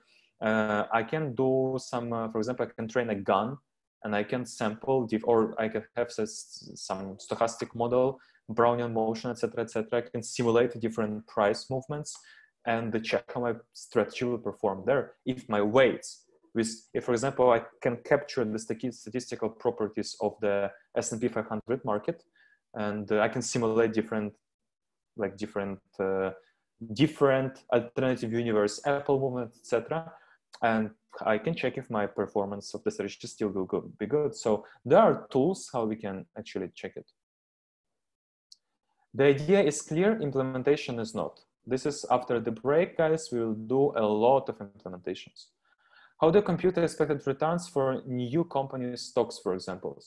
Uh, yeah, this is a bit separate question. For example, if the company is just like fresh from the IPO, uh, there are a bit different rules how to calculate expected returns.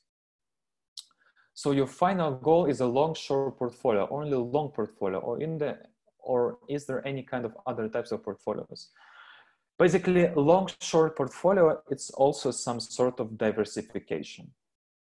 So basically, it's also the choice of the investor, something what people say market neutrality. It's like, uh, I believe that uh, it's like I want to have a portfolio where half the half of the things go down and I short them and half of the things go up and I long them. So it's just the point of view of the investor.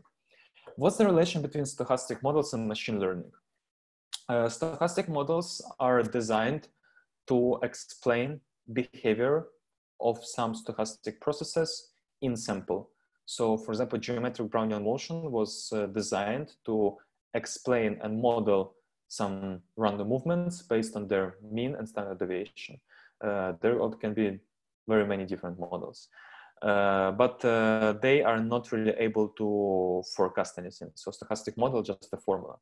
Machine learning is designed to predict things uh, out of sample, and that's the main difference. Basically, they both model the data, but stochastic models are aimed kind of to replicate the data from the simulation point of view.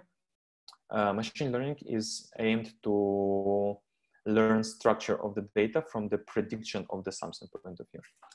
Can you provide some explanation of notations used in formulas because it's difficult to catch the sense for not economists? Uh, thanks for the feedback. Yes, in the slides I'll do it, but uh, basically we have just got just two notations. R is the return, uh, omega is or W is the weight, big sigma is the covariance matrix. That's basically all the notations we have here. And oh, okay, we also had the mu once here. Mu is the returns. Yeah, you're right. I should uh, I should edit. Uh, when I'll upload the slides, I'll edit.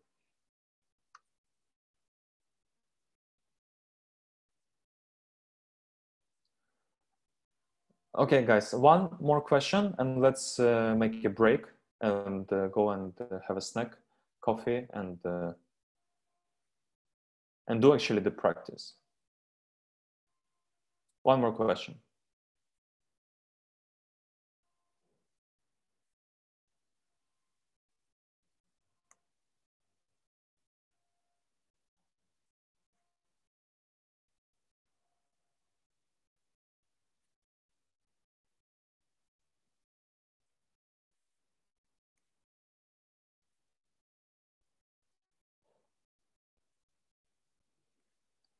No questions.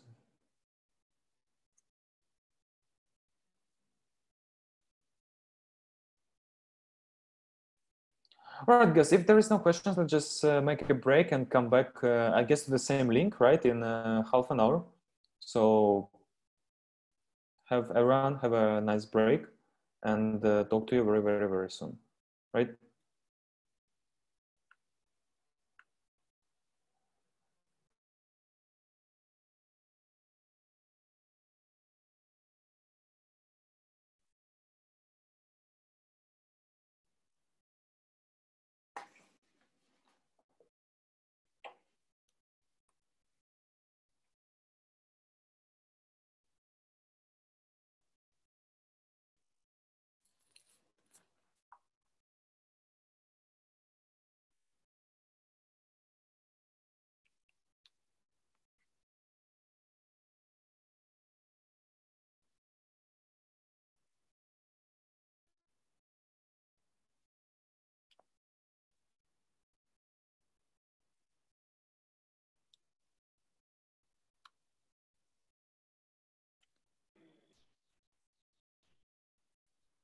Guys, can you also put in the chat that uh, Да-да.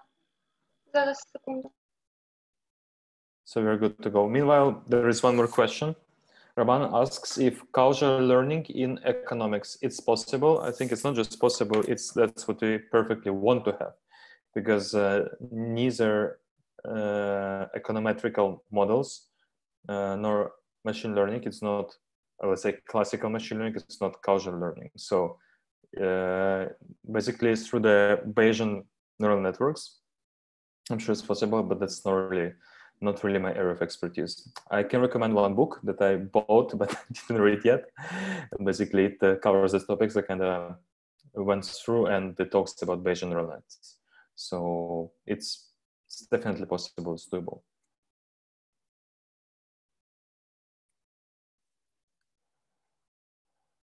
Uh, any more questions after the break, after snacks, coffee? Maybe you realize that you want to ask something else.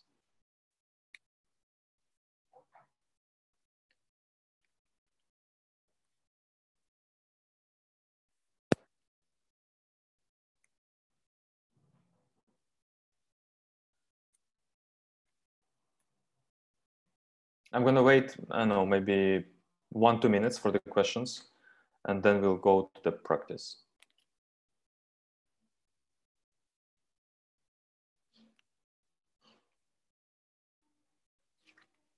Guys, if everything is clear, could you please just maybe say like, uh, yeah, it's clear, let's just go further because I also need a signal that uh, again, because when I see no feedback, it means or everything is super easy, everything is super hard. And I don't see the feedback, it's a bit hard uh, because I can obviously can repeat and try to explain another way. Or in the worst case, if I can't explain something now, I'll or send the links to the chat or I'll fix something in the slides, etc. So the feedback is uh, important.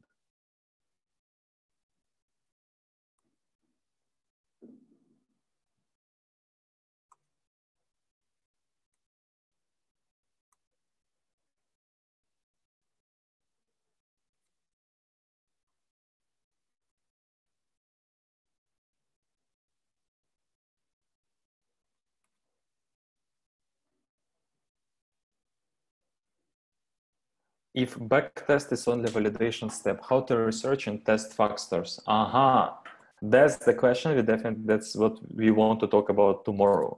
How to research and test factors without backtesting.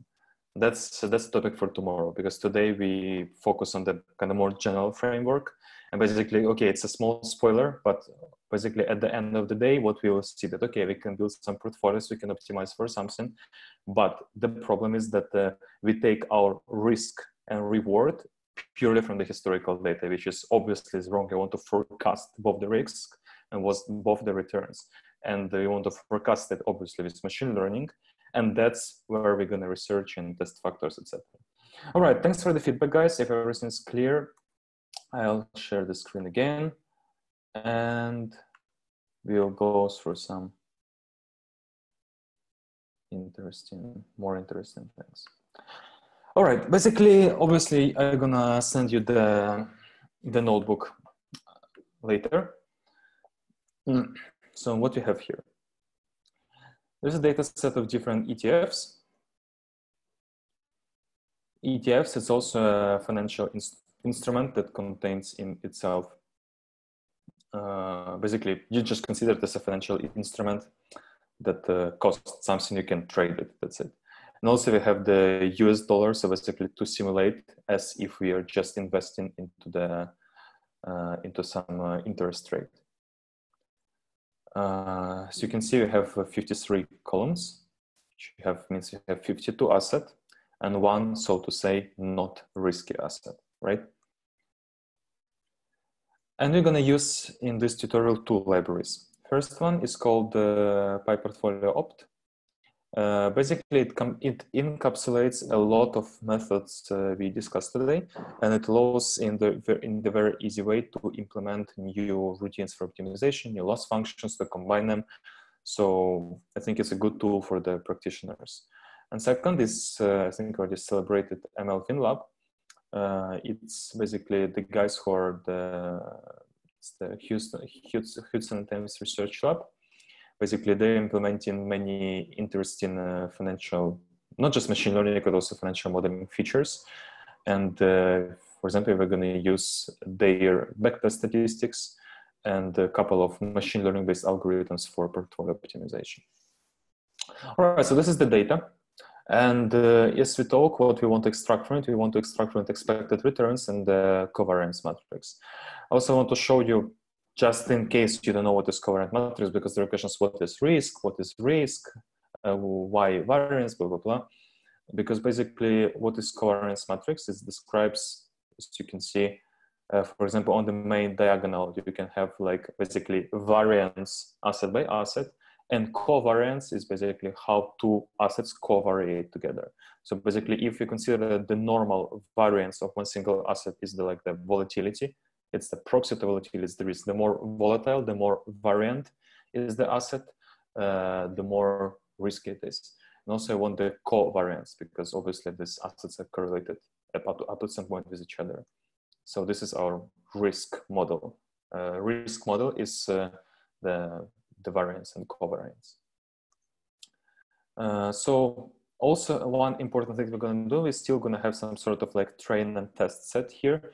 Basically, we are going to use the data from 2007 to 2012 to fit our covariance matrix and uh, estimated uh, expected returns. So basically, we're still going to do as a machine learning, we fit the models.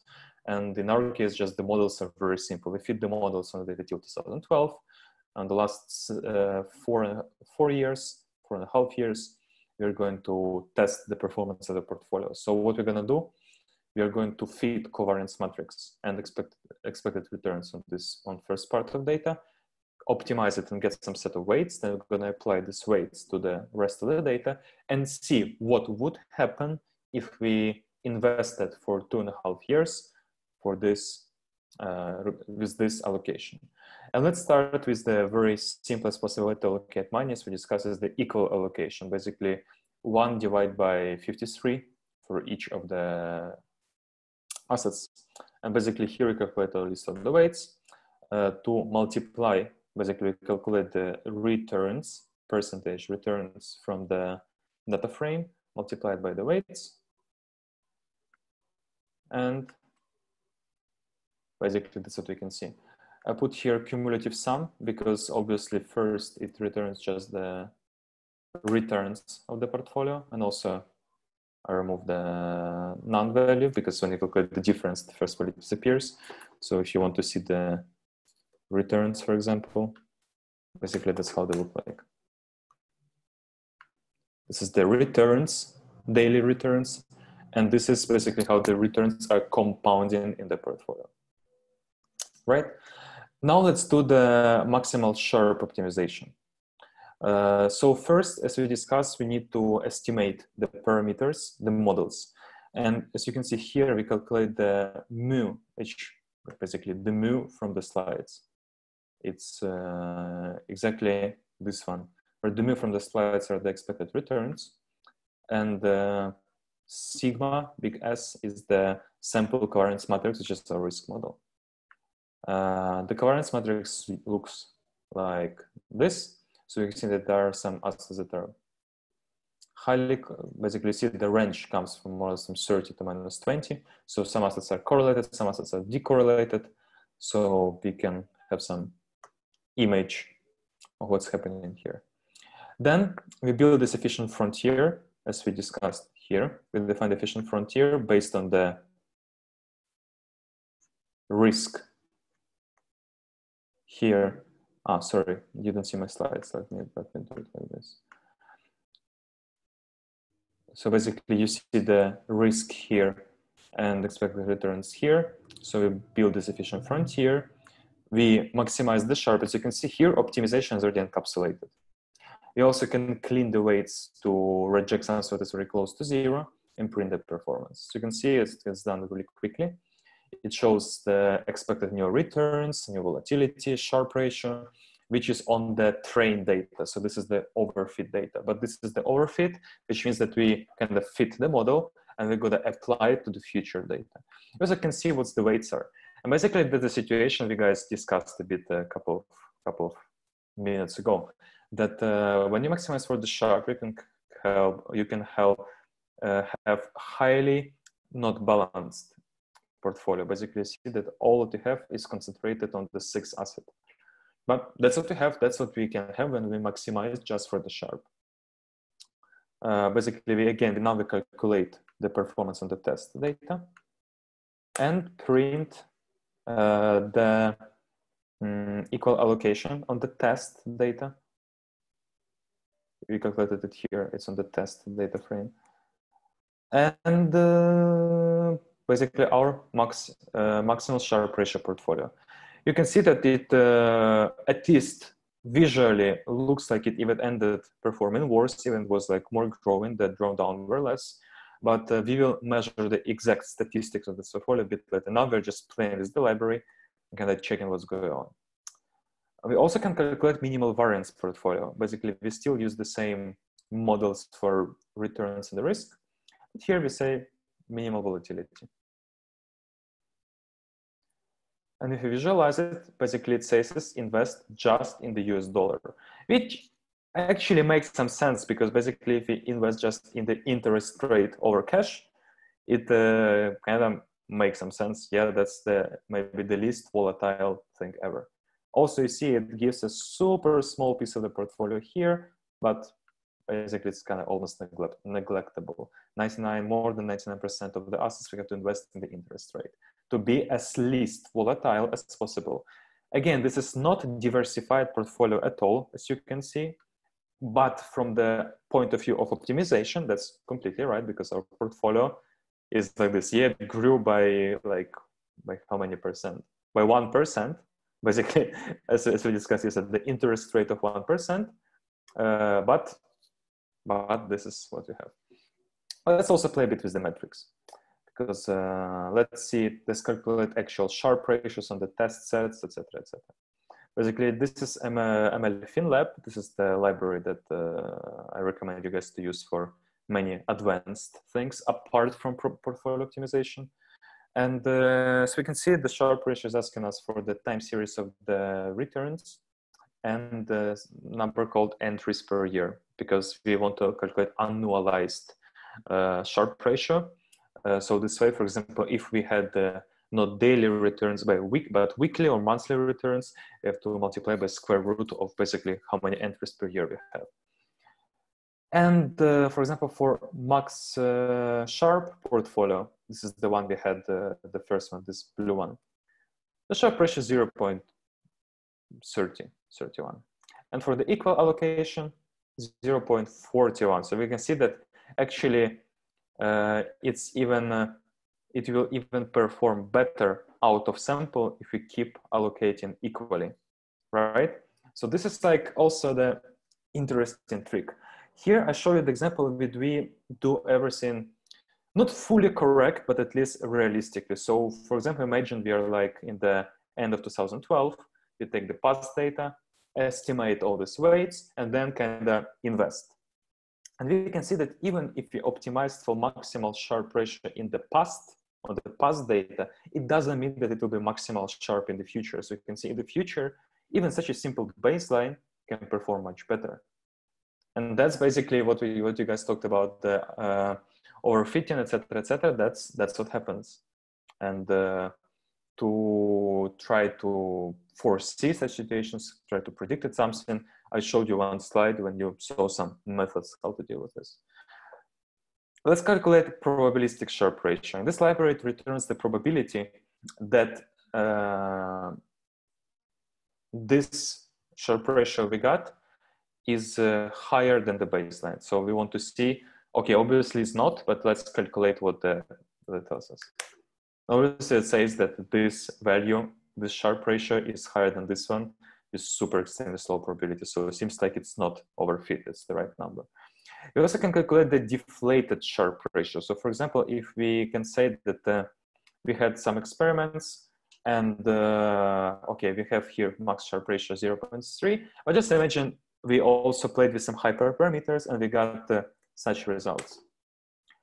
it still has really it has very high very high probability that uh, the result is not overfit basically this is the probability of the of this Sharpe ratio being true if our previous experiments were like this but just imagine if one of the experiments was like this as you can see such a probability it falls dramatically because now uh, we can't say nothing we can't be confident about our portfolio. But if you put, for example, it's already a bit more adequate.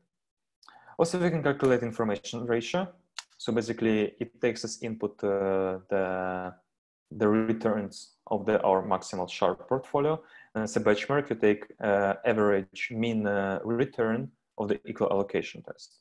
And uh, it says that we have negative information. Actually, it's kind of true because we perform worse. And for example, uh, it's not we don't really outperform it in any way basically so we have actually negative information also we can calculate minimal track record. So for this maximal Sharpe strategy to outperform baseline we actually need to run it for uh, around a year 250 days. And it also kind of makes some sense. Uh, sorry not to outperform but to see that these results are consistent. And if you calculate the drawdown and time underwater, so basically the highest percentile that we can go down is uh, around 58%. That's basically the super huge drawdown. And uh, almost more than one year under the water. Somewhere. Mm. Should calculate, maybe it was this year, most probably. The longest year under the water seems like was this one, yeah. So this is how we can judge our strategy, not just from a single Sharpe pressure, but comparing to the baseline, calculation probability of overfitting, calculating how much information we got over the baseline, and uh, how much we should uh, measure the strategy, how, how much we should uh, kind of record it, track it to see if it's still adequate. And also time drawdown, time underwater is also a very logical thing to track. Um, you see there's also one important moment that uh, when we talk about the portfolio management we always uh, have some benchmark. Basically the benchmark can be the market itself.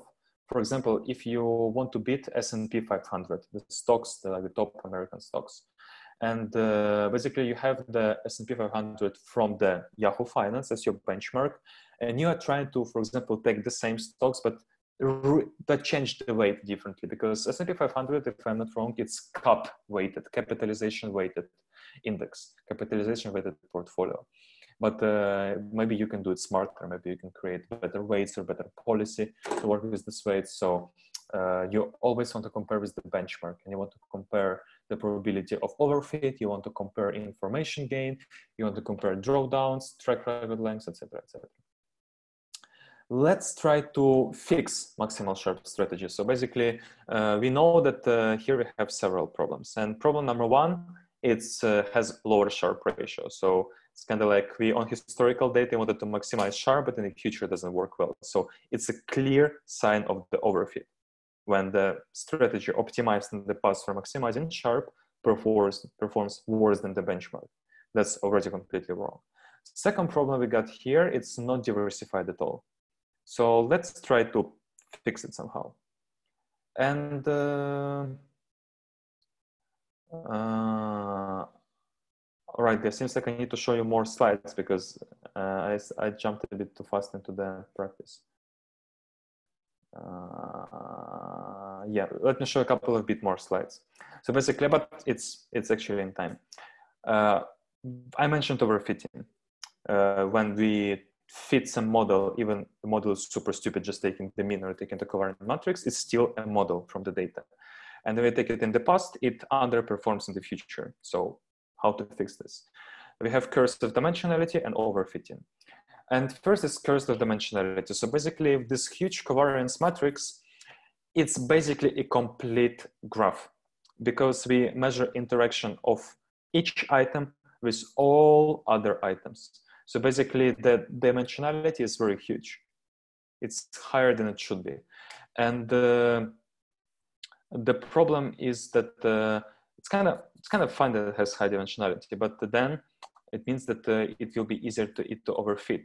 And when we have high dimensional data, for example, like you know in deep learning, why deep learning uh, needs a lot of data? Because it has a lot of parameters and statistical learning theory tells us that to fit a model with huge amount of parameters, we need much more huger amount of data. So when we have such a complete graph, we need to have also much more returns, much more data, but we are kind of limited in the years. So what we can do, we can increase sample period of frequency. So for example, instead of taking daily returns, we can take minutely returns. And in this way, maybe estimate of the model will be better because a lot of parameters, a lot of data, it's kind of like a fit. We can then decrease number of parameters. We can kind of find a tricky way to have not a complete graph, but something like a half graph or even much less parameter. Or we can impose the structure, but imposing the structure, as we can see, for example, having the tree instead of a matrix. Uh, basically, it also, what it does, it imposes a structure and decreases number of parameters. And uh, basically, yeah, the, the problem of this having this covariant matrices with the Markowitz theory, etc.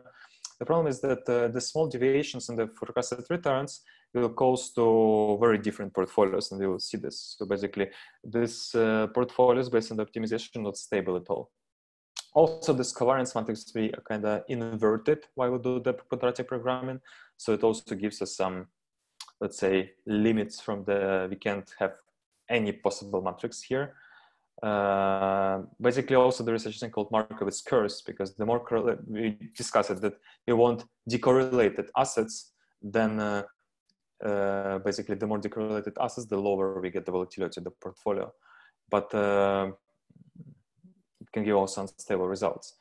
Uh, and uh, the correlations are changing all the time. So basically kind of are tending to overfit. And that's what we saw. We simply overfit to the past.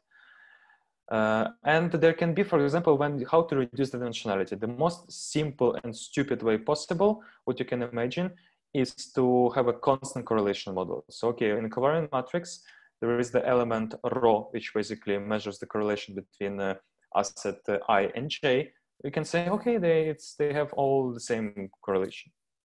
It's uh, very stupid. So basically, we reduce the number of parameters drastically, but we have a model specification risk. So basically, same, similar, the same correlation. It's like definitely not the, not, it's not correct. But this is what the researchers try to do first, and actually it could show some results at some circumstances, but this is not really a realistic assumption. Another idea is uh, some sort of regularization. Uh, also, it's called like uh, shrinking the model. So when we sample this covariance matrix, it suffers from overfitting because it's just fit on the trained data and curse of dimensionality. And uh, when we want to impose some kind of model, uh, it's really easy to misspecify it. So basically, it's kind of cool to have a constant correlation, right? But uh, it's simply not correct. It's misspecified model. So you want to have some sort of like trade-off between the sample views and the model views. For example, sample views is basically the sample covariant matrix and the historical data, but then you can also add some model views that, for example, a model views from the like constant correlation, uh, forecasted uh, from the neural network covariances, etc., etc., etc. It doesn't really matter. But you can, as you can see, you can build some sort of weighted average of these two matrices of these two covariance matrices, but one is from the sample data, and second is from some model that ideally has less parameters. And this way, you have more robust risk estimation because you're not fully overfit to the data. You also impose some model views. Even the model is so stupid that it's like constant correlation. And uh, this is exactly what I'm going to do right now. As you can see, we can add the, we can change two things. First of all, mu we can put here expected returns CAPM model, capital asset price model. So if we still didn't forget it, this is really a stupid model. It's not realistic. It just says that uh, my asset return is kind of linearly dependent from the market return, right? It's super stupid, but let's, it's better than just overfitting to the past. And second, we can uh, apply this shrinkage, one of the algorithms for the shrinkage to the covariance matrix. And let's see what it changes. Basically, we did two things now. And uh, I can tell even more. Let's do it one by one. I think it will be kind of cooler to make it one by one because I wanted to add also third thing here. Let's just start with the with the change in the capital is changing the expected results to the capital asset model. So basically we change this. Here we have we have nothing. So basically we just change this line.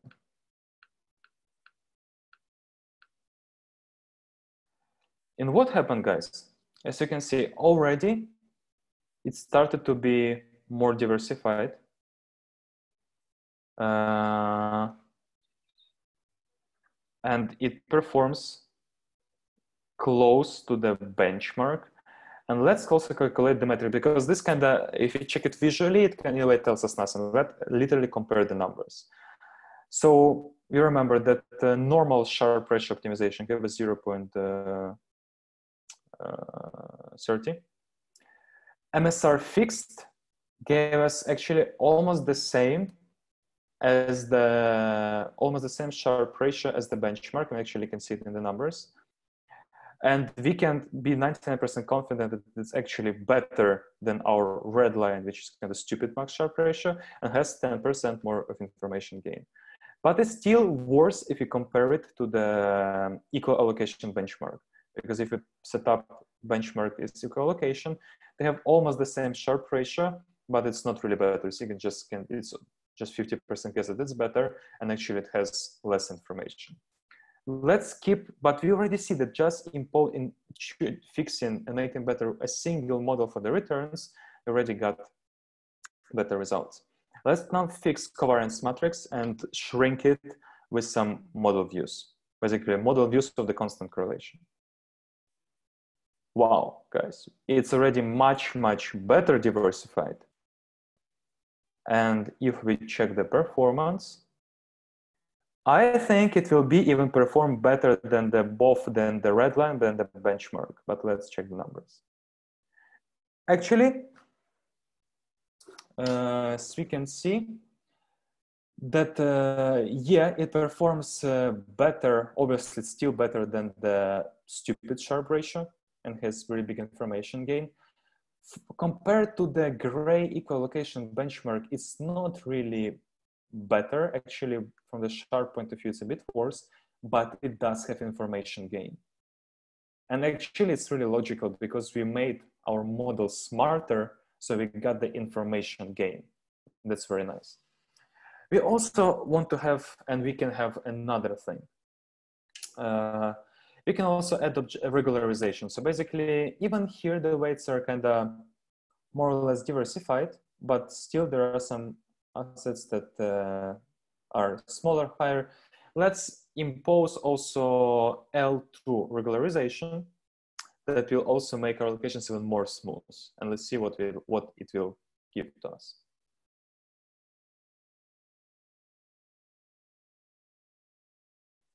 Uh, sorry, more smooth from the point of view, what does L2 regularization? It removes in the past data something what is close to zero, right? So what is L2 regularization? It smooths to the zero or to some very small uh, values on the past data set. So actually our results in portfolio is not that well diversified because we smoothed it on the past data, right? But if we check the Sharpe ratios, we could finally beat the benchmark. Equal allocation benchmark. Okay, its probability is 61%, which is better than 50, with a really good uh, information gain and much, much, much better than the stupid Sharpe ratio. So as you can see, that's what basically what we did now. You can easily relate it to the normal regularization in machine learning. What you did before, you just overfit it to the past data you overfit the returns, you overfit the risk, you didn't impose any regularization, and you got what you got. And after you add basically two better models and regularization, you started to perform better. Basically, guys, the same as normal machine learning. Let's also try to implement custom objectives. uh, for example, we can discuss about uh, decorrelation. Let's try to do it as well. Let's try to build a decorrelated portfolio. Now we know that it's kind of better to use regularization, to use CAPM return, covariance shrinkage. Let's kind of make, try to make the different portfolio. So basically, this is what our model think is completely decorrelated portfolio. So you can see decorrelation is some sort of like risk diversification. So it doesn't perform really well apart from one jump in the end. But basically, but at least as I said, uh, when you want to decorrelate and diversify, it doesn't mean that you're looking for the good performance. You want for the diversification. Diversification is already another thing. Also, we can add another uh, another idea of the like risk parity we discussed. Like I want to diversify among the different risk sources. And if you launch this portfolio, what we can have, you see basically red line is the max Sharpe, the stupid one. Uh, this is our risk parity portfolio. And uh, what's interesting, if we compare it to the max Sharpe, it has higher Sharpe ratio, so it's not overfit, but it has less information gain. So basically it's interesting that Sharpe ratio, as you can see that there is really a really conflict between diversification and maximizing for the returns because even the overfit max Sharpe, which is red, it still has more information, which kind of nicely risk diversified model. But this is the trade-off, guys. The, the only thing we could do, we could kind of try to merge these objectives and uh, try to merge the things. Um, what also we can do? all the portfolio we had here, as you can see, they all have positive weights, which means that we're going all long portfolio. We are not shorting anything. So basically we think that uh, we can just invest. But we also can do the shorting. So also actually we can bet that the stock will go down and we can earn money on the, on the falling of the stock. It doesn't matter what's the mechanism uh, of such a, such a trading, but yeah, basically uh, on the market, you also can bet on the falling of some stock and you can earn money based on this. Uh, so basically, we still have the same model for returns and for the risk. As you can see here, in the efficient frontier, I'm adding weight bounds. So basically, I want now my weights to be bounded from minus one to one. So I'm allowing negative weights. We do this optimization it shows us that yeah, chose two stocks to be shorted. But the problem is that uh, the sum of the absolute values of the stocks is a bit higher than one. This kind of trick how optimization works.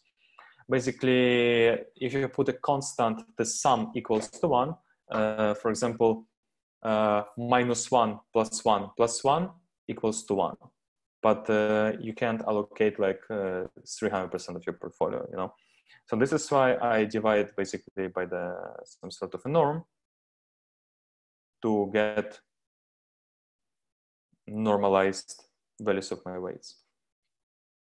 And let's check this portfolio now.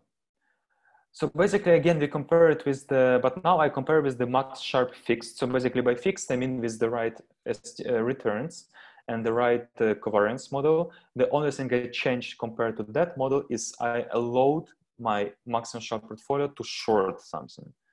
And as you can see, uh, from all the metrics, from the Sharpe ratio, from the deflated Sharpe ratio probability, and from the information ratio, uh, actually really do much better. So actually shorting, it can be a good thing. Uh, if you're confident, if you know that you can, uh, can execute this deal, we could outperform our previous portfolio even a bit more. Uh, what, what else we can do with the risks? Um, someone in the comments said that uh, why do we want to penalize and consider risk just the volatility? Because volatility, it means that price can go up very quickly and down very quickly. So this is uh, like, um, basically what you really want to do, you want to penalize the model for going up quickly, but if it goes up for going down quickly, but if it goes up quickly, it's kind of good for you, right? Because you're earning. So you can also calculate as a risk matrix semi-covariance, just taking the upper, basically the part that is over zero. So uh, sorry, below zero. So basically you're gonna penalize just for the uh, for the covariance that leads to the drawdowns. And you see, basically I calculate, takes some time to recalculate it. Then I take this as a risk matrix. Everything else stays the same, max Sharpe. Uh, as you can see, the portfolio didn't change that much. Basically, we got just a small gain of a Sharpe ratio, which is, uh, I would say, significant, and just a small, small, small gain of the of the information. But still, you can see that uh, it's super small change, but it actually indeed gave something. So uh, it made sense in this experiment. Let's discuss it for a while.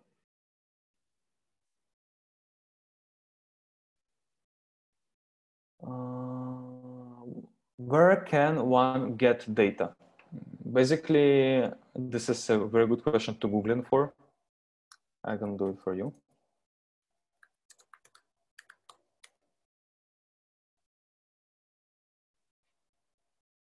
And so you can see there is like financial statements data sets. There is site that sells you data.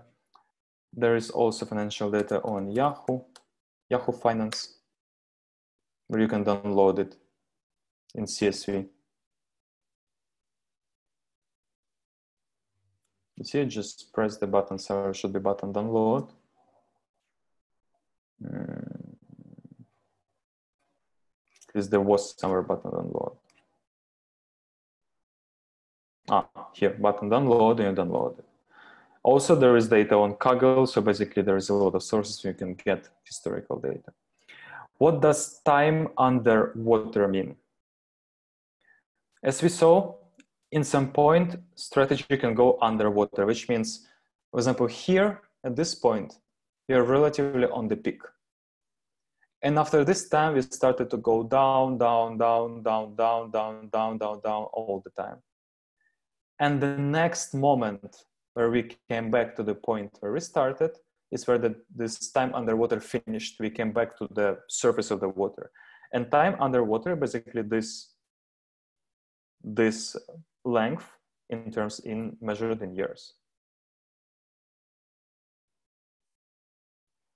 Uh, from the plot with the Sharpe maximization at the baseline, the most closest period the Sharpe had the better performance it's correct, it's correct to say that it could be good estimate only for the closest period. So after several months, you calculate your base, etc., etc. Basically, yes, uh, what you want to do, you want to uh, recalculate your weights regularly, but still, basically, this is like uh, classical overfitting. It's like, uh, uh, yeah, in the next, if you estimate some parameters based on the data you see now, yeah, I think you can expect that the next month it will be more or less the same. It's like more or less adequate guess. But if you want to use the same data to forecast something in a year or two, obviously you need to or wait for new information or to have much better model that's regularized better. So basically it's like, uh, yeah, in a way you're right, but still it's always better to have a better model. Could you please give an example of how decorrelation works? Uh, basically, what it does, what it does, what it does. Uh, so you see, it minimizes the value of the squared weights multiplied by correlation matrix. So basically, the lower you'll get the correlation. So basically, it will allocate to such pair of assets that have low mutual wise correlation. So basically, you have your correlation matrix, and uh, it will seek for such values of the weights that will put the weights to the assets that have really low correlation. Just simply that, and that's what we saw happening in one of, I think it was this one, the correlation. Yeah. I think this jump is must there must be some error in the data. I don't think that there was actually some jump. I think it's the error of the data, but basically you can see the performance. This is like decorrel. That's how decorrelated assets. You see, it's not looking for any performance because it just it just put money in something what is like completely uncorrelated. That's it. Maybe more questions, guys, because this is like uh, I think not super easy topic, right? or everything's easy for you?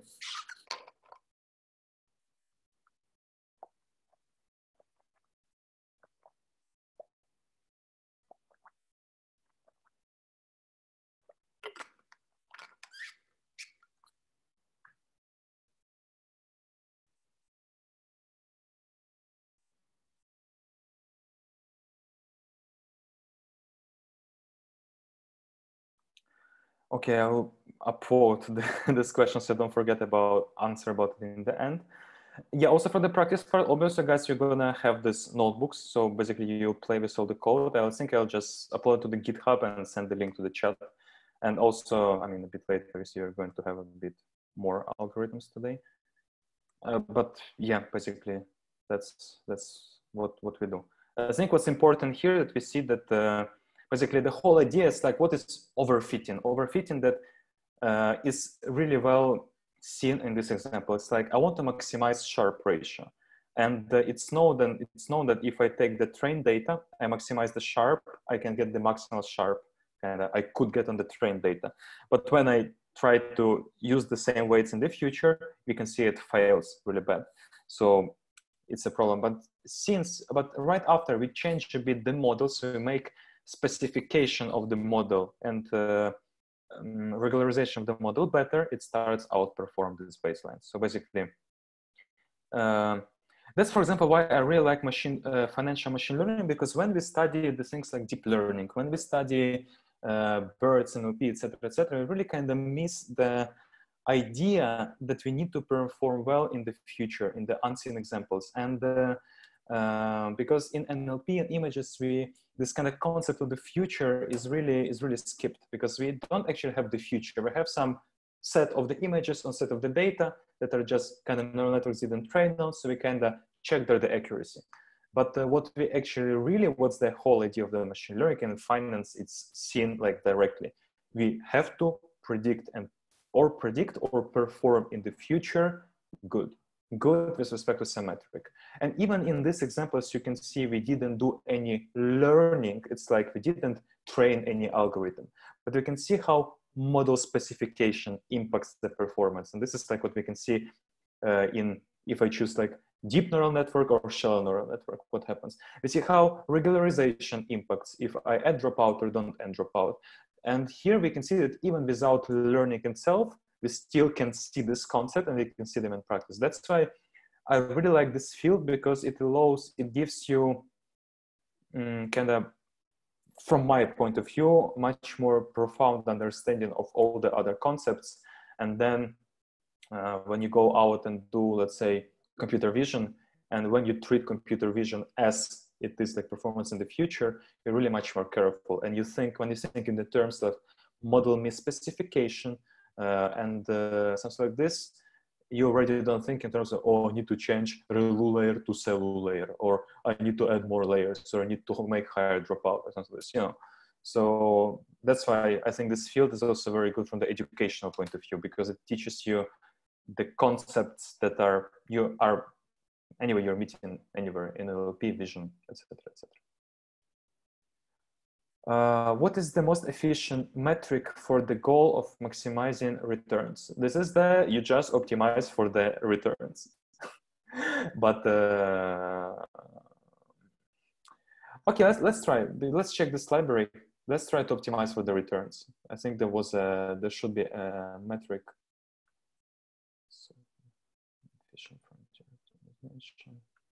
I think they have the, like you can try to optimize uh, directly the return. I think it is here, efficient uh, return of Sharpe, efficient risk. Okay, it can give you efficient return. So, okay, let's try. Let's try. Somewhere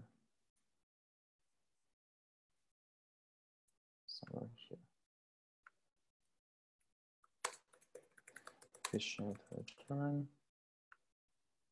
I'm going to just copy pieces of code because we basically are copying here things. Uh -huh.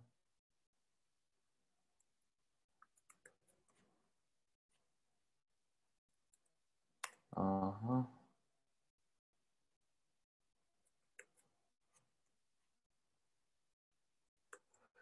Uh, let's, but here is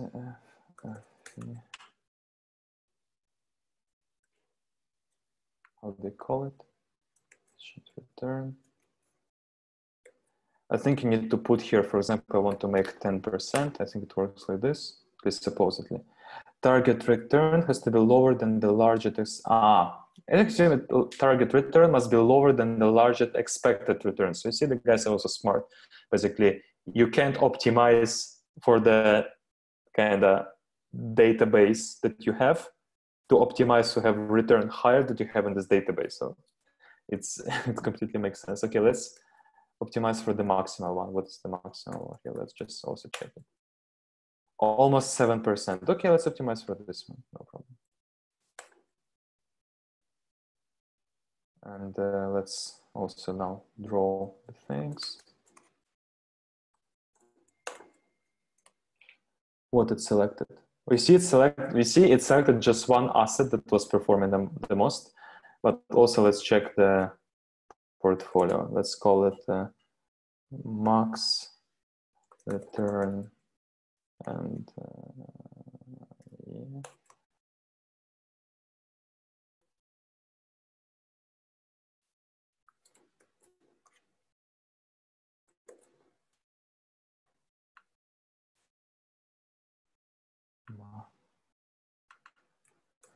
Return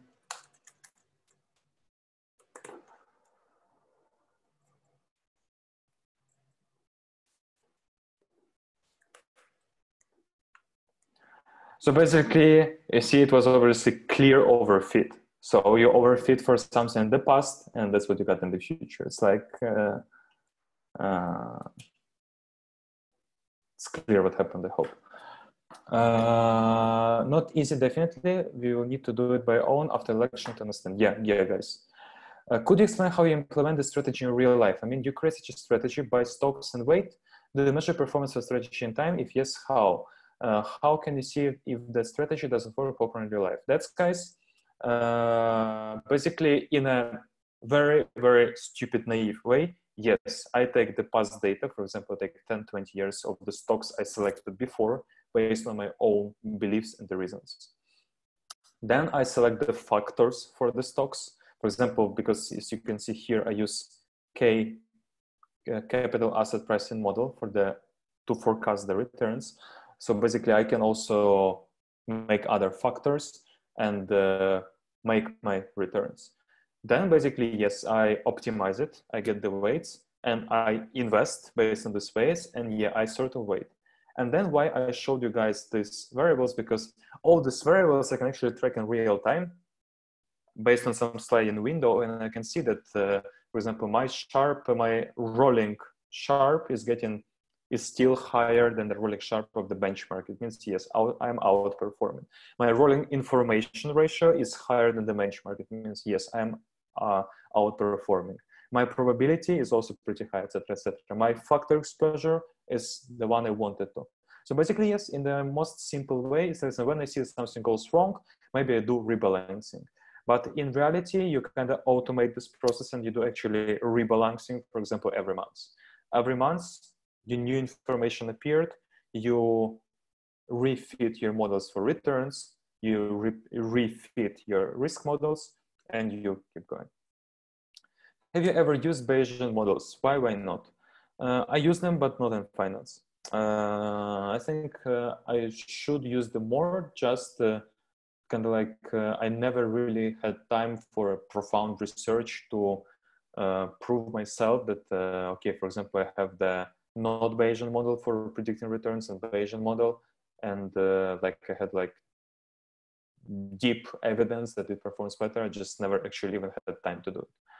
I think, uh, in my opinion, I think, but of course, Bayesian modeling is uh, much more robust. It's uh, better. Actually, today we will see one Bayesian model, but it's not really Bayesian model, but it has like Bayesian mindset. I like Bayesian models, but I never really bet on them, for example.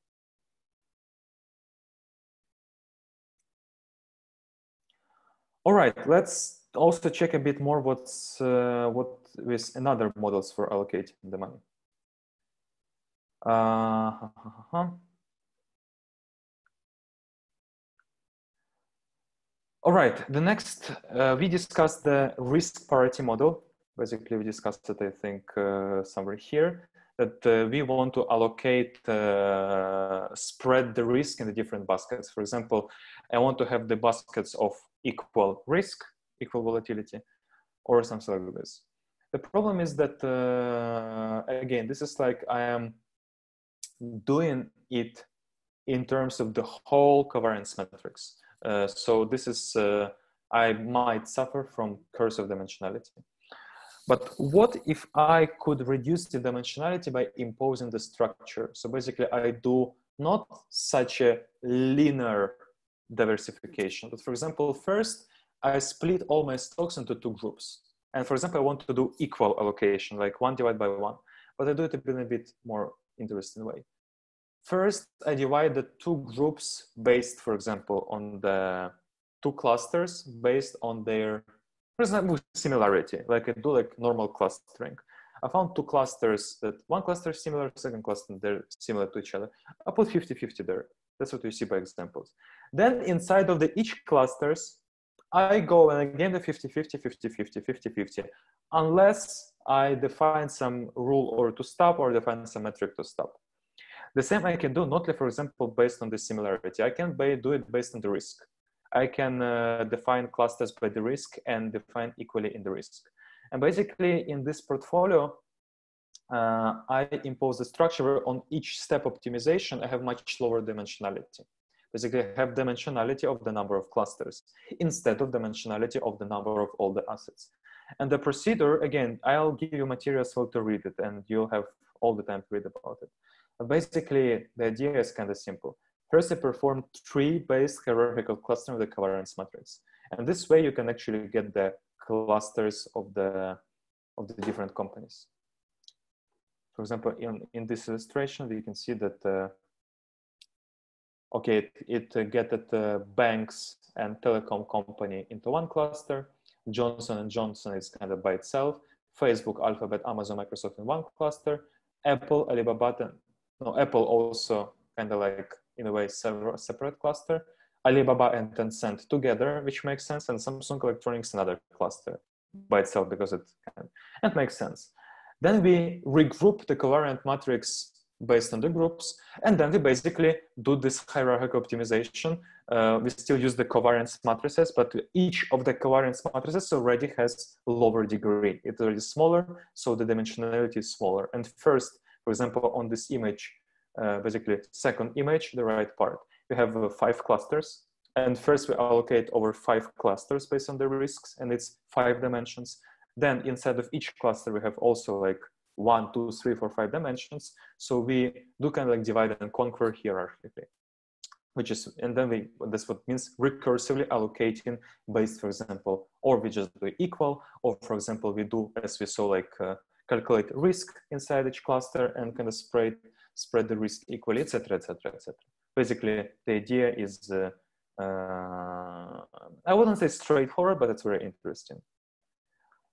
Another two ideas uh, to how to impose the structure in the model, because we saw that we can reduce the dimensionality of the model. We can actually regularize the model with something. Uh, we can again impose structure in the model another kind of structure can be imposed with the idea that your covariance matrix, or for example, even all the movements of your assets, uh, they can be, they basically have also some not explainable factors in a way, right? So basically, what does PCA? When you have a data set of, uh, and you apply PCA to it, it uh, gives the principal components. Basically, these principal components, they're like, they optimize to explain the most variability uh, in the in the data. For example, uh, yeah, basically, if you apply PCA, for example, to the faces, your first uh, component, it kind of like smooths the face, just leaves the eyes, the nose, and the mouth, because that's the principal components of the face. Second component is when you connect first and second and first component, as you get more details in the face. And this way you kind of build a composition of the components where they all together, they give you the complete data set. But the first component explains, uh, uh, let's say 80%, of the variability of the. Second model 10%, third model 5, fourth 3%, etc., etc., etc., etc. The also interesting point that these components are orthogonal. So also you build the orthogonal represent representation of the data. So basically, if the first component it indeed explains 80% of the data and kind of smooths the data, the second component should be orthogonal. So it explains completely other factors in the data. The third model completes also orthogonal to the previous two. So this way, it's like, uh, first of all, you get some factors, and second, they're orthogonal, which is also good. And if you apply this idea to the market, if your portfolio is a linear combination of the assets, right? And uh, why, for example, we calculate this capital waste, capital capitalization based weights, equal weights, or minimal variance portfolios. Why actually we do them? Because this are the, our benchmarks. Basically, we have a lot of assets and we need to create like the, and these assets, they kind of represent the market and uh, it's still kind of not clear what to define by the market. For example, if you talk about S&P 500, they consider like the market is capitalization weighted portfolio. This is what they say, that's the market moves. But they also can be equal allocation or even minimal variance can be the market proxy. And uh, for example, if you build the first principal component that explains most of the variability in the market, you can say that this is the proxy to the market, the principal component this is something that explains the behavior of the market, right?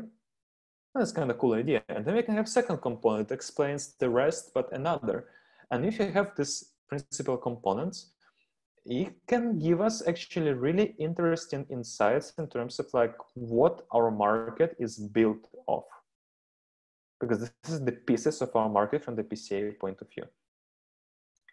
Uh, another thing this is like the pca that's what does it's kind of like explains the variation in the data.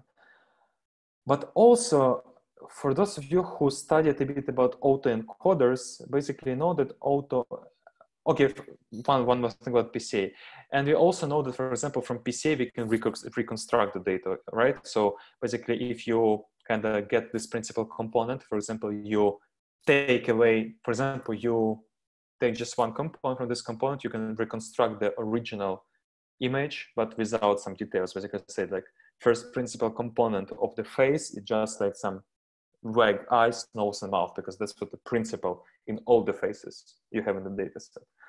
Uh, so yeah. Another thing that also can do the same, some sort of reconstruction of the data are autoencoders. Basically, this is the neural networks that are trained to reconstruct itself. So basically the idea is the same. You define some sort of neural principal components. First you take your input data, uh, squeeze it to the sprint to the dimension of the principal components. I mean, so to say principal components. And then from them, you try to reconstruct the input and uh, you expect that uh, you will be able to reconstruct it really well. And if you reconstruct very well, that means that inside these principal components, they really capture a lot of variation about the data. And uh, what is the cool idea about autoencoders? They can be nonlinear, they can be deep, they can be like with the ReLUs, etc., etc., what, what you like. And uh, it's proven also that basically autoencoders they are able to capture extremely compl complicated patterns. For example, BERTs in NLP, they're by the nature the autoencoders. Uh, a lot of computer vision models are also based on the autoencoders. GANs, generative adversarial networks, they have really close connection to autoencoder generative models. So basically, um, let's us also to apply this idea to our data and let's see how PCA and autoencoders, how they can or if they can uh, reconstruct something, right?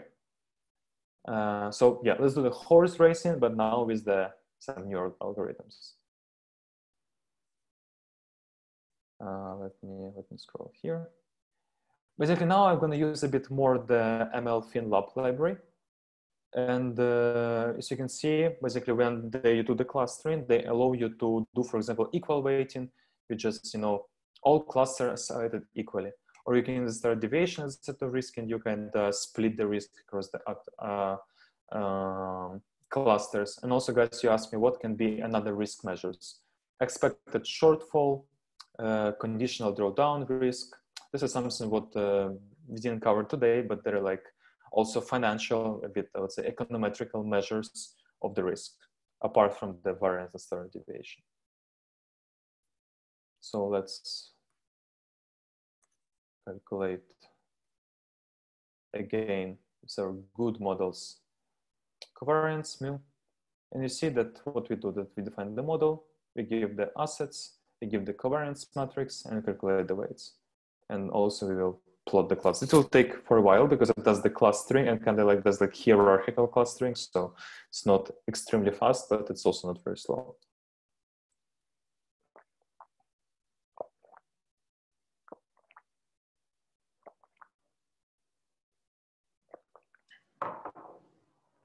What we can see here but indeed, it found some interesting structure in our market, which is interesting. At least, okay, there is one big, huge cluster, but other ones are also interesting. Now we can use these plates. They are already normalized. And let's visualize this portfolio. As we can see, this portfolio performs even worse than equal allocation. And this is, again, I want to tell you that this is completely normal. So basically, everything what we're doing right now, guys, to be honest, we're just looking for the proxy to the market.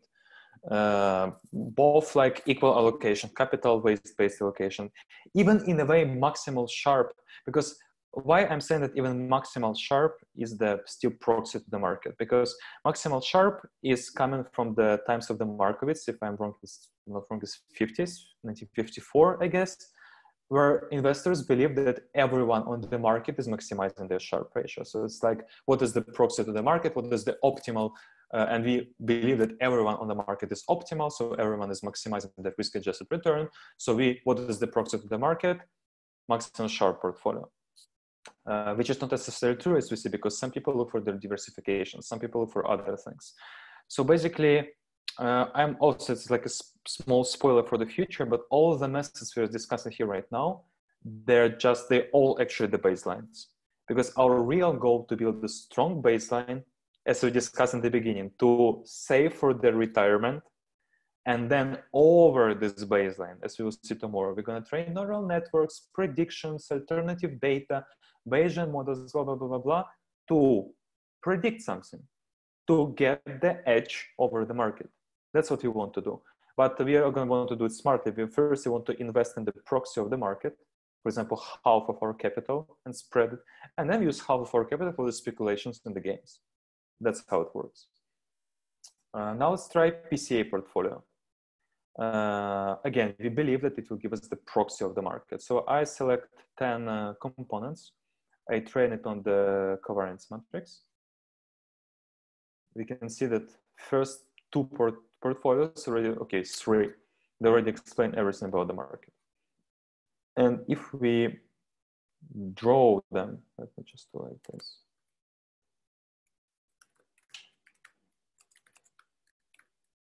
Separate. We will start drawing them. As you can see, also what is very, very, very interesting. You remember our decorrelation portfolio, how it behaved apart from this unexpected jump, it behaved like this. You remember our minimal variance portfolio? It behaved like this. And they all bet a lot on the US dollar. US dollar here, it means the investing in the interest rate. We just give cash and for the interest. Uh, and PCA as the first component, it says that actually US dollar with some minor contributions is the proxy to the market, which is very, very interesting. So basically PCA found, if you took analogy from the face, for example, PCA on the faces, that I'll just show you. So I'm, so I'm not. So PCA on the faces, you see what it does, right? It kind of decomposes, it finds like the eyes, nose, and the mouth because eyes, nose, and the mouth is present kind of on every face, right? So here it finds this US dollar and a couple of other long short portfolios that also have to be kind of present in every portfolio. That's the strongest component. And from this point of view, this is the proxy to the market. And completely orthogonal portfolio to the proxy, they found this, and guys, and this is completely right. If this is the proxy to the market, we might not agree because, wow, why we call it proxy? Because it looks nothing like equal allocation. But this is like completely anti-equal allocation. So this is portfolio, this is orthogonal to the first one, and this is indeed orthogonal to the market. So maybe this, this is not completely wrong what it does here. And also there are some other portfolios that are orthogonal to the previous ones, orthogonal, orthogonal, blah, blah, blah. But this is another very interesting view on the market that sometimes it can give us more stable portfolio than the others. Uh, and now let's try to do something with autoencoder portfolios. Uh, with autoencoder, it will be a bit different logic. With autoencoders, what we'll do, first we'll, with Keras, we'll build the autoencoder with a couple of layers. Basically, it takes as input uh, the again the covariance. No, it can take even the data. It's the data you see, uh, the prices or covariant matrix. It doesn't matter. We just take the uh, basically what we fit it on. If we train our data frame and take PCT change, each training sample for the autoencoder will be one day return. So basically, it will be trained by daily returns of all the assets and this way to capture kind of the structure of the, of the daily changes. And since autoencoder is trained to reconstruct the input, later we want to check that what is the principal component. It's the thing that we um, always, uh, something what is um, basically a principal component is component that explains the most of variance. So we want to find the most variant item here. So that's why after we measure the norms between for each of the asset, how good we can predict it. And then we can basically, yeah, let's print this as well.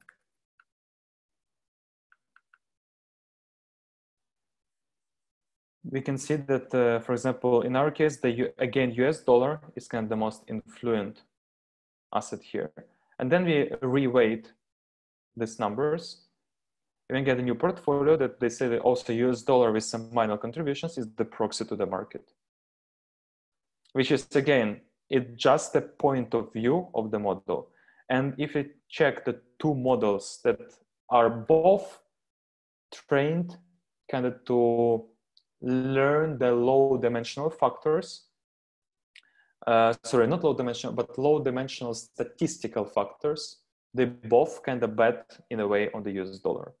So basically, this is again one of the points of view on the market, and it's not correct, it's not incorrect, it's just how different models think about the market, not more.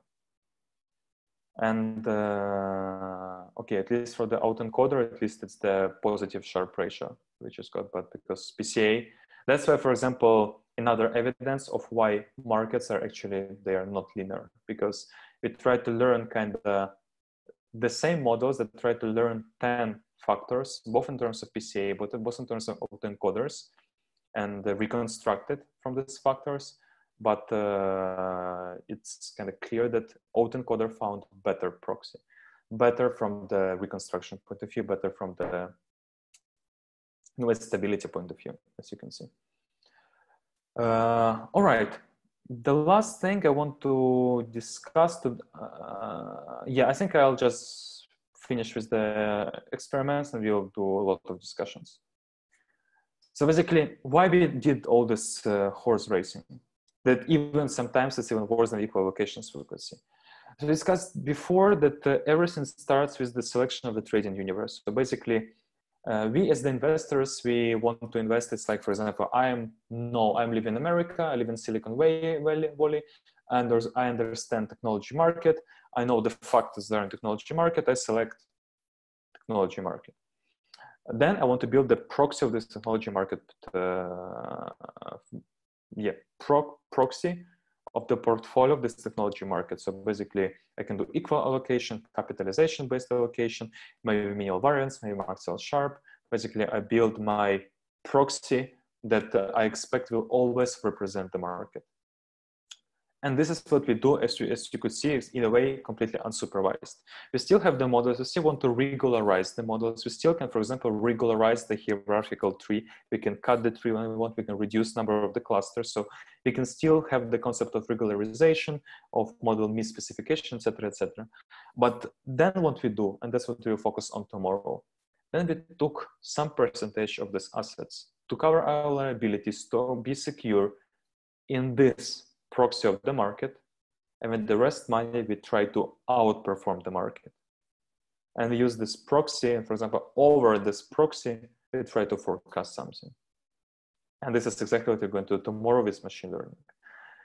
And uh, there's, okay, now let's, let's discuss what we did, and then we're going to talk about improvements.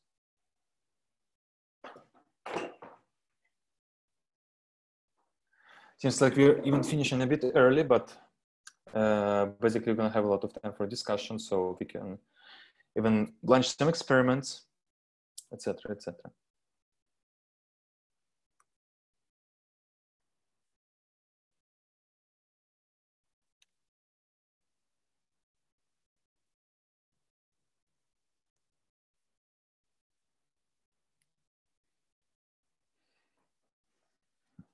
Waiting for the questions, guys. Guys.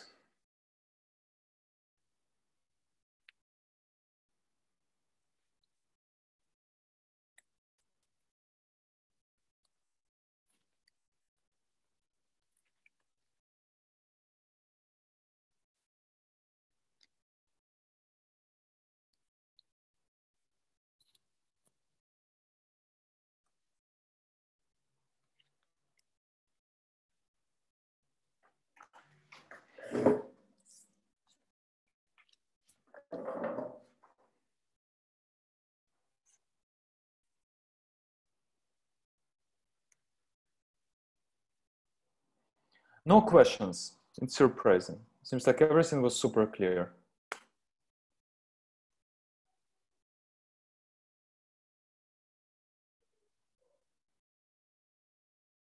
I see only one question in the chat of the Slack. Hi, where can we access the Jupyter notebook? I will upload to the GitHub after the lecture, which will be soon, both with the slides, so you can experiment with it. Uh, could you run some optimizations over different strategies? Could you specify a bit what you mean over different strategies, uh, like uh, different uh, optimization goals or something like this? You want to play with the hyperparameters? Could you specify a bit more?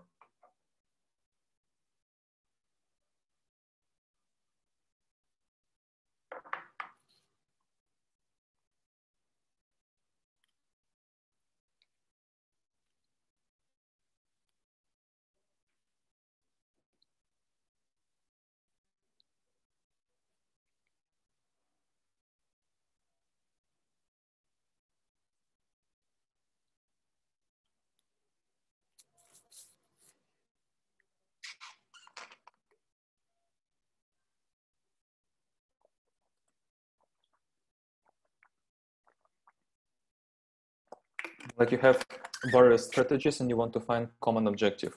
Uh, okay, I'll leave it as the upvoted. We can do it in the end because um, within this framework, I never did it. So I think I might uh, fail a bit. So it will be like real-time coding, uh, coding in trying. But yeah, yeah, we can try to do it. Let's just leave it till the end, end of the program.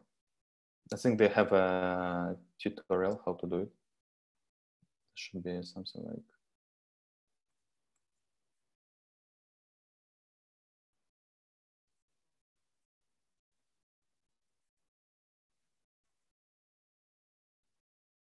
there should be some guideline how to do it. Yeah, see, add objective. Mm -hmm, mm -hmm, mm -hmm. Yeah, yeah, we can we can do that. I think.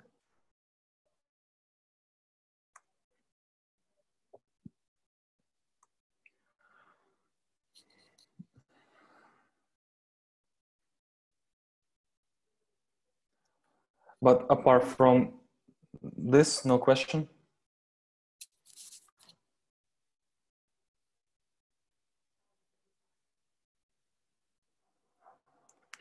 Okay, guys, you can think a bit more about next questions. I'll finalize the program for today. Basically, uh, oh wait, I need to share the right, the right.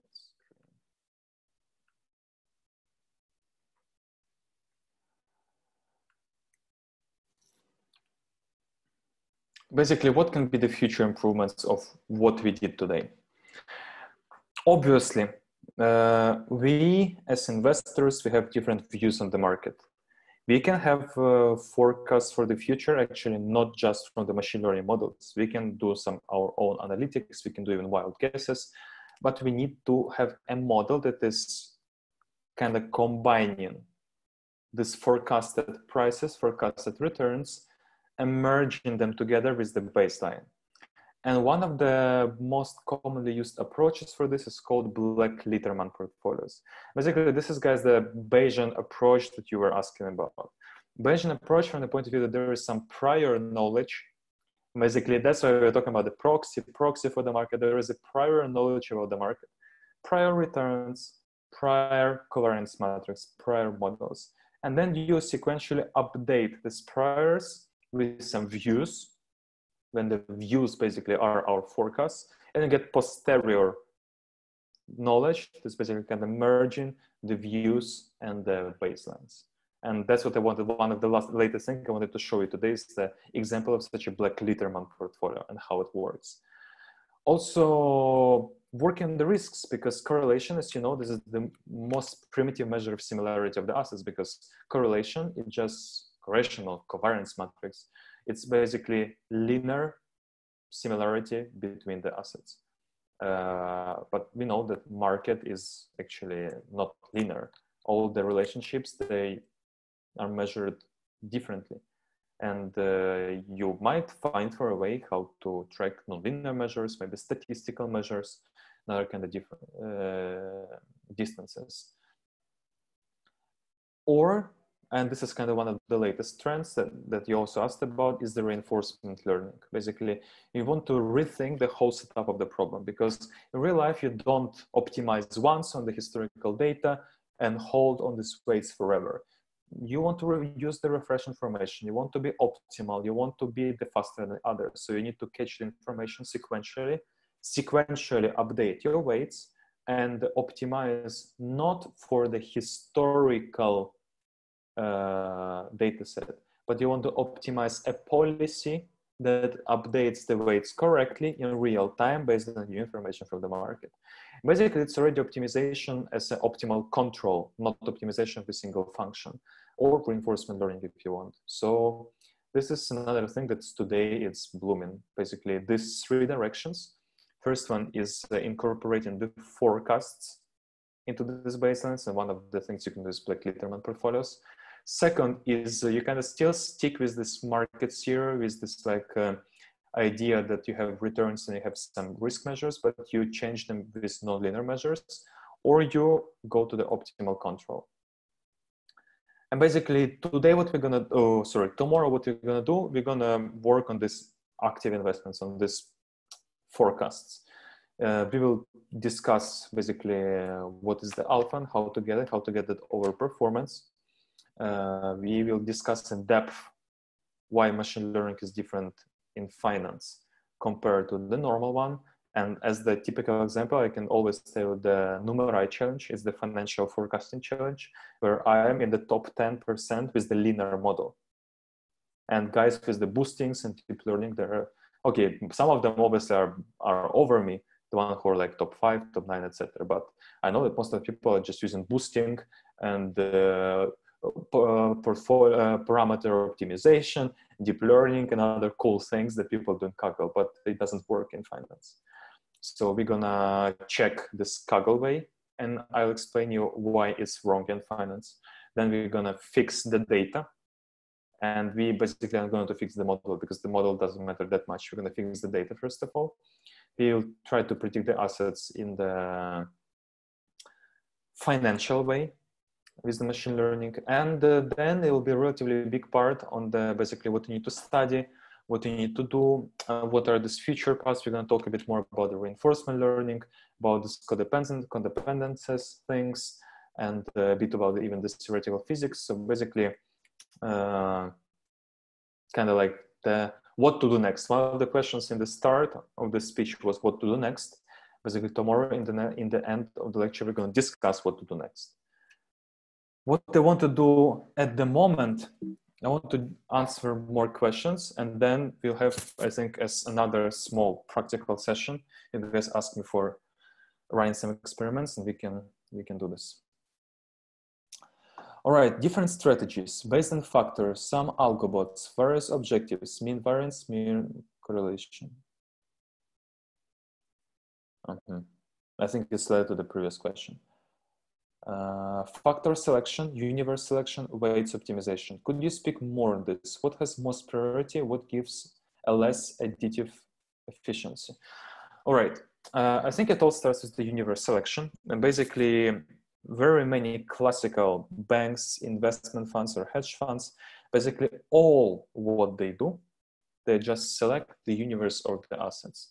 For example, this is what uh, most probably do guys like Warren Buffett. They don't do any factors, they don't do any weights optimization. They just uh, looking for the strong companies based uh, on different uh, on their beliefs and uh, they just invest in the strong companies and this is the, universe of the strong companies and uh, basically this is your universe the next thing is that you don't want basically when you say like good companies strong companies in your universe obviously you make the decision based on something and uh, kind of the next step of evolution for these investors is like uh, so okay i believe this company for example is strong because it has good financial reports it has good revenues so when you're talking in terms of like the reasons, it's already factors. And uh, when you can talk in the terms of factors that influence your choice, it means you can have a mathematical model for predicting, for example, returns or explaining at least the returns. And uh, this is already like the next level because uh, if you think, wow, this company is big, I like it, but then you can check it numerically and uh, test your ideas numerically. So this was like a next step towards the quantitative trading. And then the or the next thing is like weight optimization, basically. But that's what we did today. And uh, it, I can't say what gives most priority in some service. It's all important, basically, because if you have a shitty universe, you're not optimize and optimize. It's it's a crap. You know what I mean? And uh, if you don't understand the factors behind you will actually will not really be able good in weights optimization because the weights optimization we did today um, basically we kind of like diversify the risk yes but it has it has uh, it's it's a baseline as we discussed with when you're just gonna diversify the risk or something it's, it's the baseline equal allocation is the baseline because without the factors without being able to predict something all what you can do is a baseline and compare it to another baseline nothing else so it's all important. I can tell you that uh, something has uh, more or less efficiency. Let's check again popular questions that were here. Uh, why is Sharpe ratio still used when there is Sortino ratio which doesn't, which doesn't penalize for positive volatility? Uh, because, as I said, um, not every investor want to have big jumps either because big jump is also um, unexpected gains are also risky. There might be some reasons for that. What is the potential for reinforcement learning? Uh, basically, it's already used, and tomorrow we're going to talk a bit more on this because today it's. Uh, uh, let's talk about it tomorrow. Uh, how can you find good factors? Basically, you need to be financial uh, expert to or expert in some area to find the good factors. For example, if you are expert in the artificial intelligence and you want to make a portfolio of the artificial intelligence companies, uh, you can create the factors, for example, as uh, one of the factors for the growth of the AI companies can be, for example, power of GPUs or something like this, because it is a factor that enables growth of the AI-based companies or the price of the cloud resources or something like this. Uh, uh, books and resources, uh, I'll talk about tomorrow. I think one more question. Coming from econometric, economics and math background, I like the beginning of your presentations, you compare the econometrics to the new ML ones. Is there a more holistic, deeper comparison with case studies, etc., research paper, books, etc.? Any references are welcome. I can show one thing. Uh, it's uh, relatively empirical, I would say. Just give me a moment, give me a moment, give me a moment.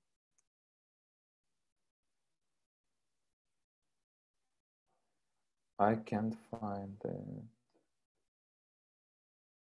should be somewhere.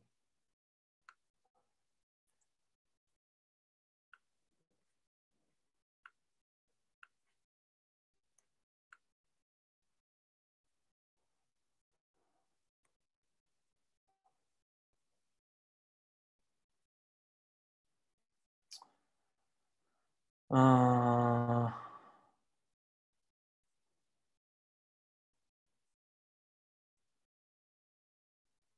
should be for free, right?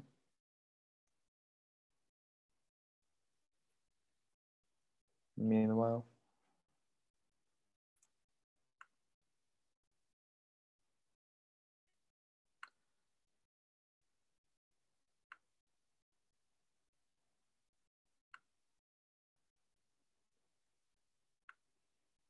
Uh,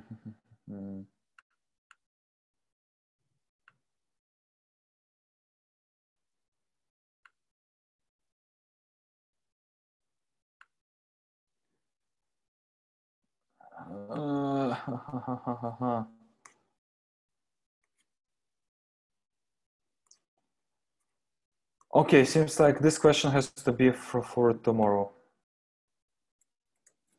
I will I'll add it to my list of the questions for the tomorrow. I need to reg register to answer an ad, etc., etc. Just give me a moment. I'll save it as a question. Um, all right, the last question that was, could you please in the end talk more about your job? What is what you do at work? Basically, currently my job, I am Chief AI Officer at Neurons Lab. Basically, my responsibility is, uh, let's say, working with the solution architects in different uh, industries, uh, like retail, investment management, manufacturing, or different technologies. And basically we manage the vision for the projects for our clients vision from the technology and product point of view. And uh, basically my job is now like for example talking about the client investment management uh, i'm working with one or two architects in this field and we can define the vision of the client. We define the risks. We translate his or her request into a mathematical problem. And then after we design this vision architecture we give it to the development data science team. So they basically develop the core.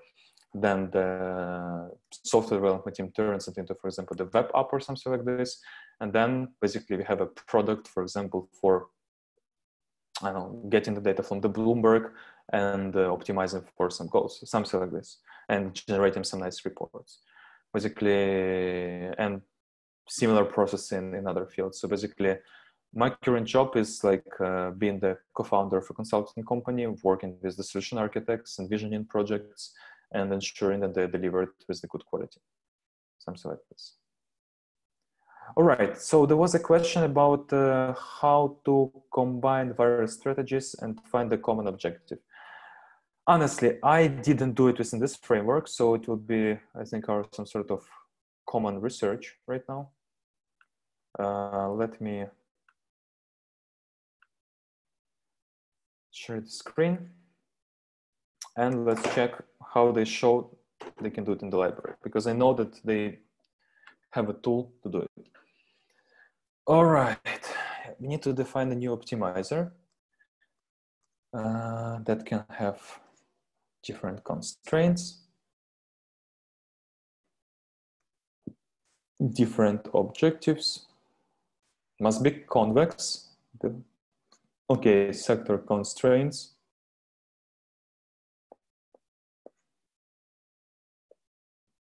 convex, non-convex.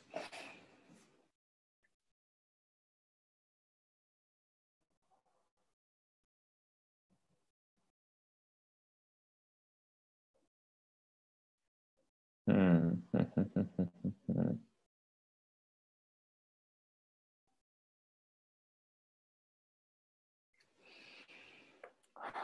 All right, what kind of function you want to optimize for? Whatever optimizations we saw, they're basically better for a stable or not to change in market. The models that predict market status for certain situation like COVID pandemic. That's what I showed you in the also very beginning of the presentation, that uh, if you want to predict such things like COVID, you don't really predict it. And need to have uh, good diversified data sources and ability to analyze this data correctly. So if you look only at the prices in the Yahoo Finance or in the Bloomberg, most probably you will not be able. So basically, just looking for the market tells you nothing. And that's why we talk a lot about the factors. And that's why tomorrow it will be about forecasting based on the factors. Because uh, uh, you could foresee some changes in the factors, for example, in the copper supply chain, that uh, could mean that the basically the big uh, economical activity will be stopped. And the same you could see, for example, with the oil. So basically, it's not really about the forecasting, it's about uh, more like uh, spotting some changes in the underlying factors. And it's a bit different. It's like, because uh, again, what we are doing now is just looking at the prices and their covariances. That's something that is relatively simple. What we, that's, that's, that's we discussed, that's the baseline all that we did today is just the baseline. It's a proxy for the market, nothing else. Ah, guys, what I didn't show you, of course, I, I mentioned in the presentation that there is a Black Litterman portfolio that allows you to combine like forecasts and your baseline. And I didn't show you that. Black Litterman portfolio. Basically, uh, let's consider that we have a baseline represented as the shrinked covariance matrix. This is number one. And then let's think that we can forecast our prices using exponential moving average. So basically, uh, we don't take just historical returns. We don't take just uh, some dependency of the market. If we take like exponential moving average, where the last returns are more important than the previous ones and consider this as a better prediction. And we take this baseline based on the shrink covariance. We take these predictions as some uh, sort of updated view on the market and get updated returns. Basically, updated, it means like uh, we mixed the baseline and the forecast from the model. Then we put these returns to the model the baseline, and do the optimizations we used to do. And guys, not surprisingly, if you compare this Black Litterman portfolio compare, compared to the previous, uh, the best and the correct Max Sharpe portfolio we had before, we outperform it. And we outperform it significantly, both from the Sharpe point of view, both from the information ratio gain point of view, etc., etc., etc. So this is basically importance of the forecasts in the model.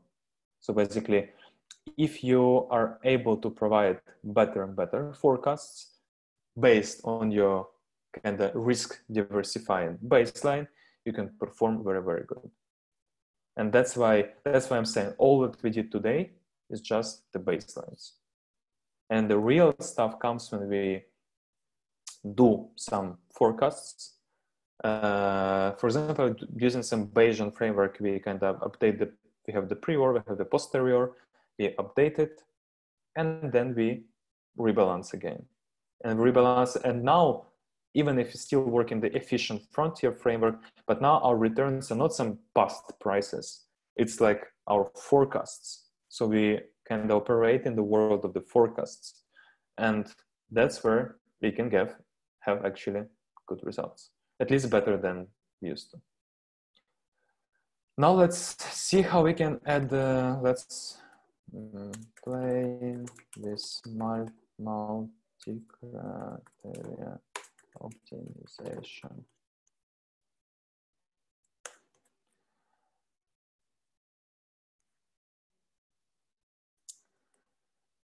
Let's for now define some simple mu and s just to be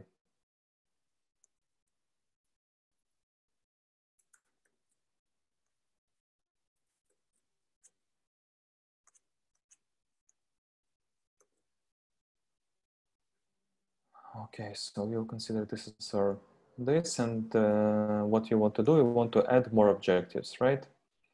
Okay, so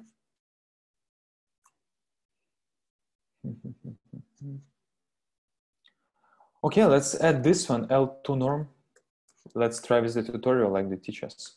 So let's replace L2 regularization with L1 regularization, right? Start with the normal tutorial.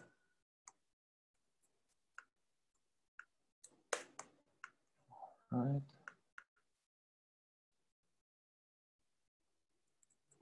What is?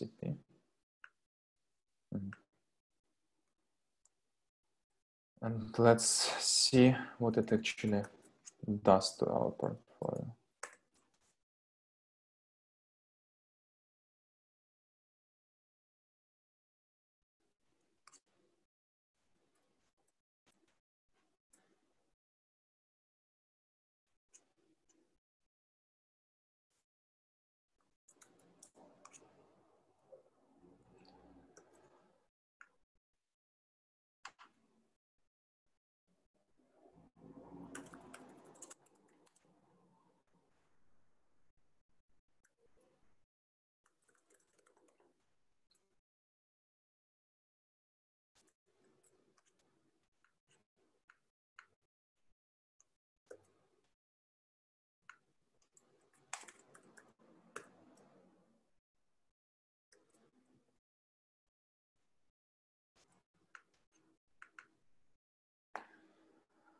Oh, very interesting, this portfolio. So you can see adding the L1 norm. So potentially what it does, it uh, basically it's uh, what it does. It uh, makes them closer to zero, the weights, right? Let's see the effect on the weights.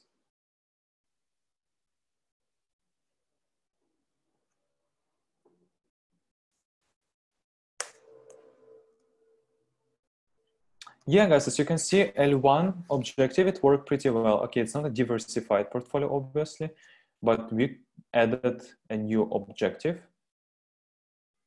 and uh, it, it did its impact. Let's add some another objective. Let's, for example, as we discussed before, let's uh, combine Sharpe for example, with, uh, we had here diversification somewhere. Where it was, where it was.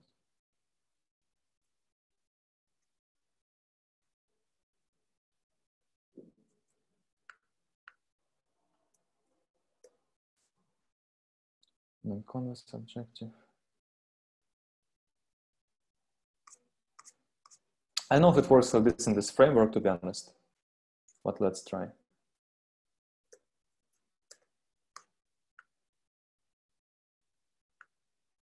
Okay, let's not do this one. Let's just try to see if it works that I want to do risk parity and max Sharpe, but I don't know if it works to be honest.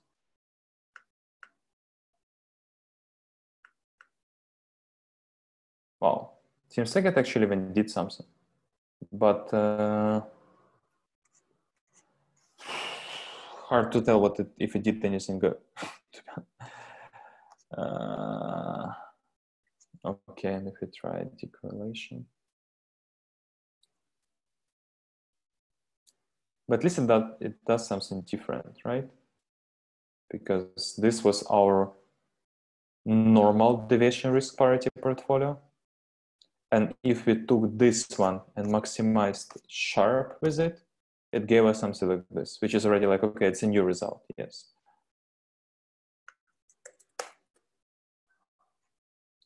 Let's try to add decorrelation.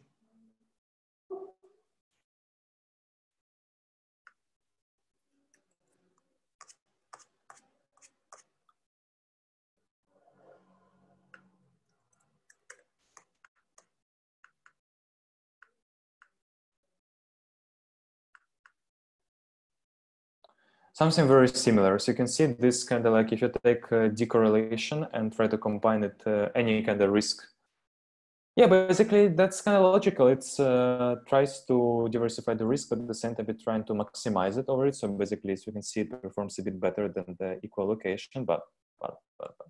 so basically it kind of is almost equal allocation, but it tries to maximize the Sharpe over, equal allocation. So yeah, as you can see, then you can just play with all these things. We can have, seems like very many objectives here. This crazy optimization.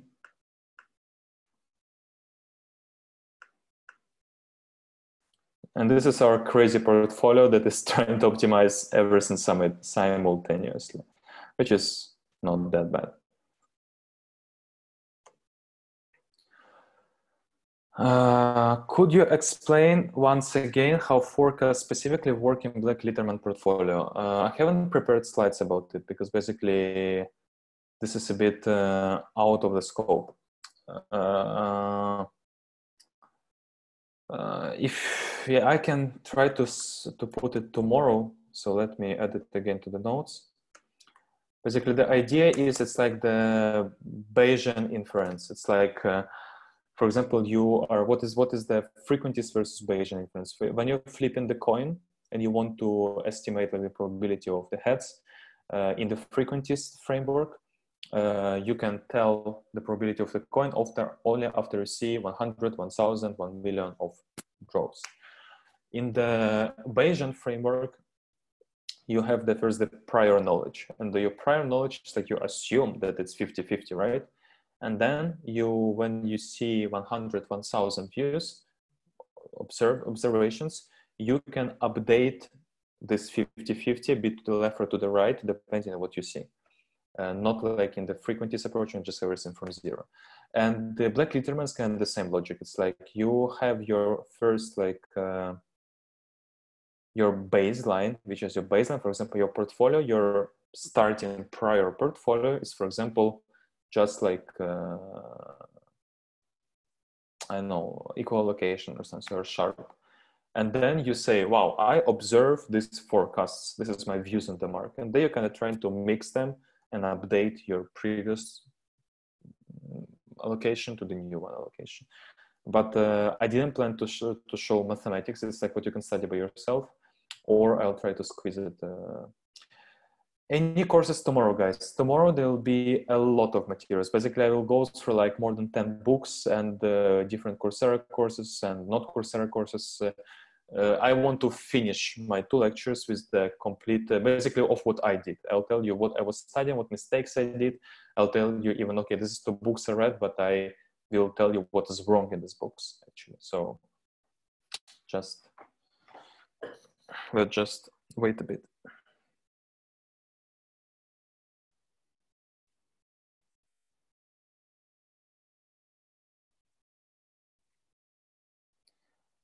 Any more questions?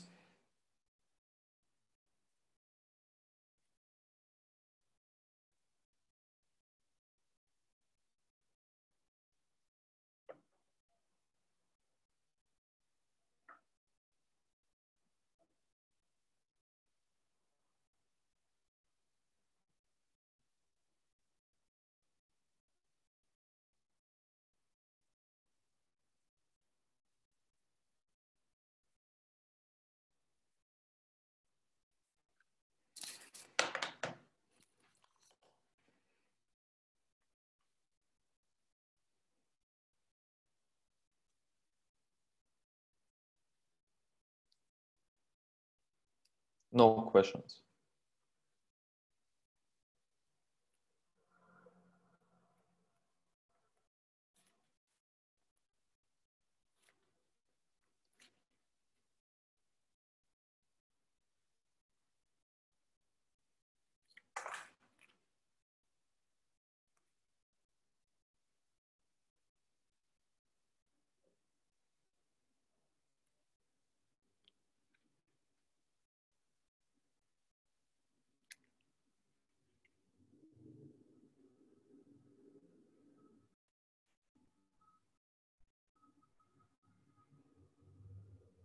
Yes, I'm gonna wait a bit, like five minutes more. But basically, what everything that I want to show today, I already showed. So uh, from my side, I still owe you the slides and the notebooks from today, so you can have some time playing with it. And obviously, you can ask me questions in the Slack. I think uh, tonight I'll be able to answer them. So basically, that's it. I'm here. I think I'll be here for five more minutes, and uh, I'll be ready to answer the questions.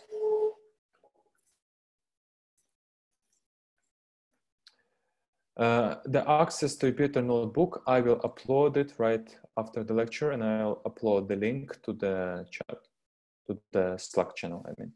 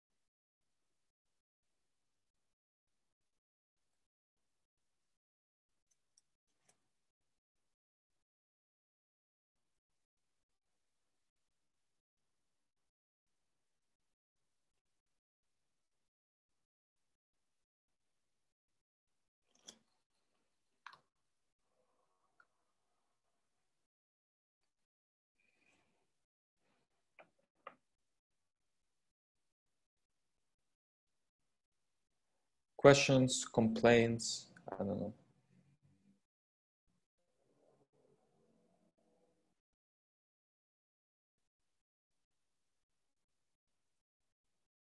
Maybe feedback. Maybe you can give me the feedback like uh, this part was good, but this was not clear or something like this. It also would be really, I would be thankful for the feedback, obviously.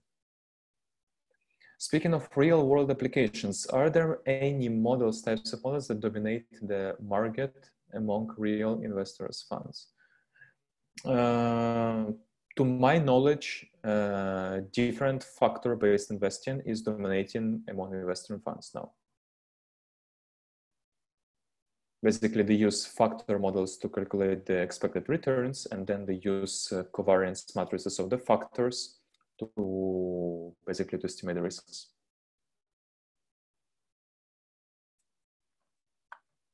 At least to my knowledge, that's like the most common thing. Factor-based investing.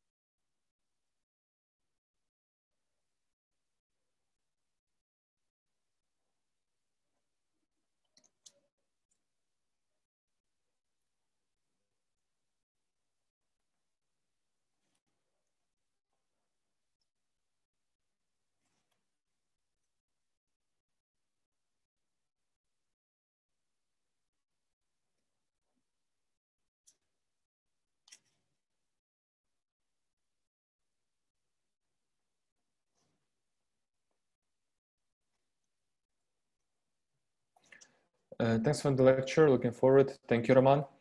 Not for the future. Take a moment to explain on the go any of the economic specific terms. As yeah, you're right. This is where I have to put the like. This is the this is the good one. Uh, tomorrow I'll try to be a bit more, let's say, clear exactly with the economical terms. You're right. Thank you.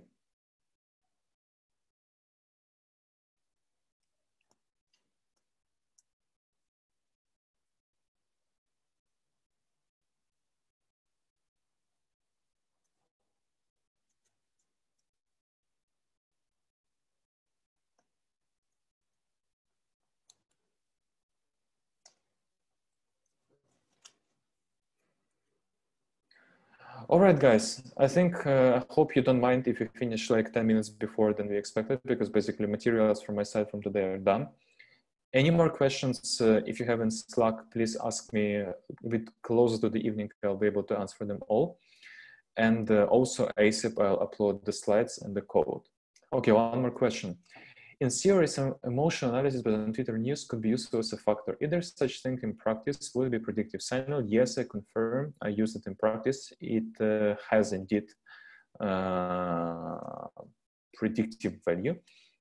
The problem is that um, it doesn't have predictive value by itself. So it can be a single factor and it's not very strong and uh, it's a really regime dependent uh, factor. So basically in some moments it can be useful, in some moments it can be not be useful. So, it's also another thing why you want to keep retraining. If you talk about the machine, you want to keep retraining your models over time because uh, in some months uh, it has predictive value, but in other months it uh, has no predictive value. So, but it does, it works. It worked for me several times. So yes.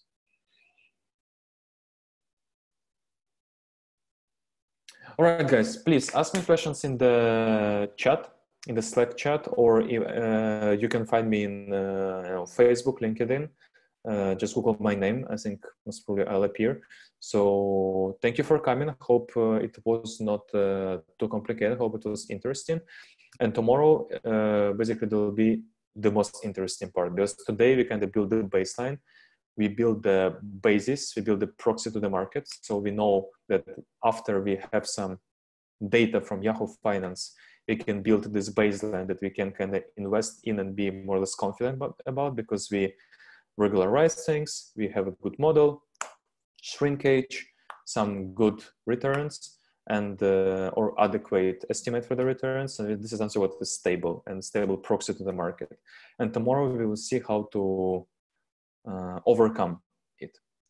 Thanks everyone. And Elon Musk's Twitter is the best predictor for Tesla, as well as uh, Donald Trump's Twitter is, uh, at least in this regime, a good predictor for uh, American economy. Thank you guys. Talk to you tomorrow.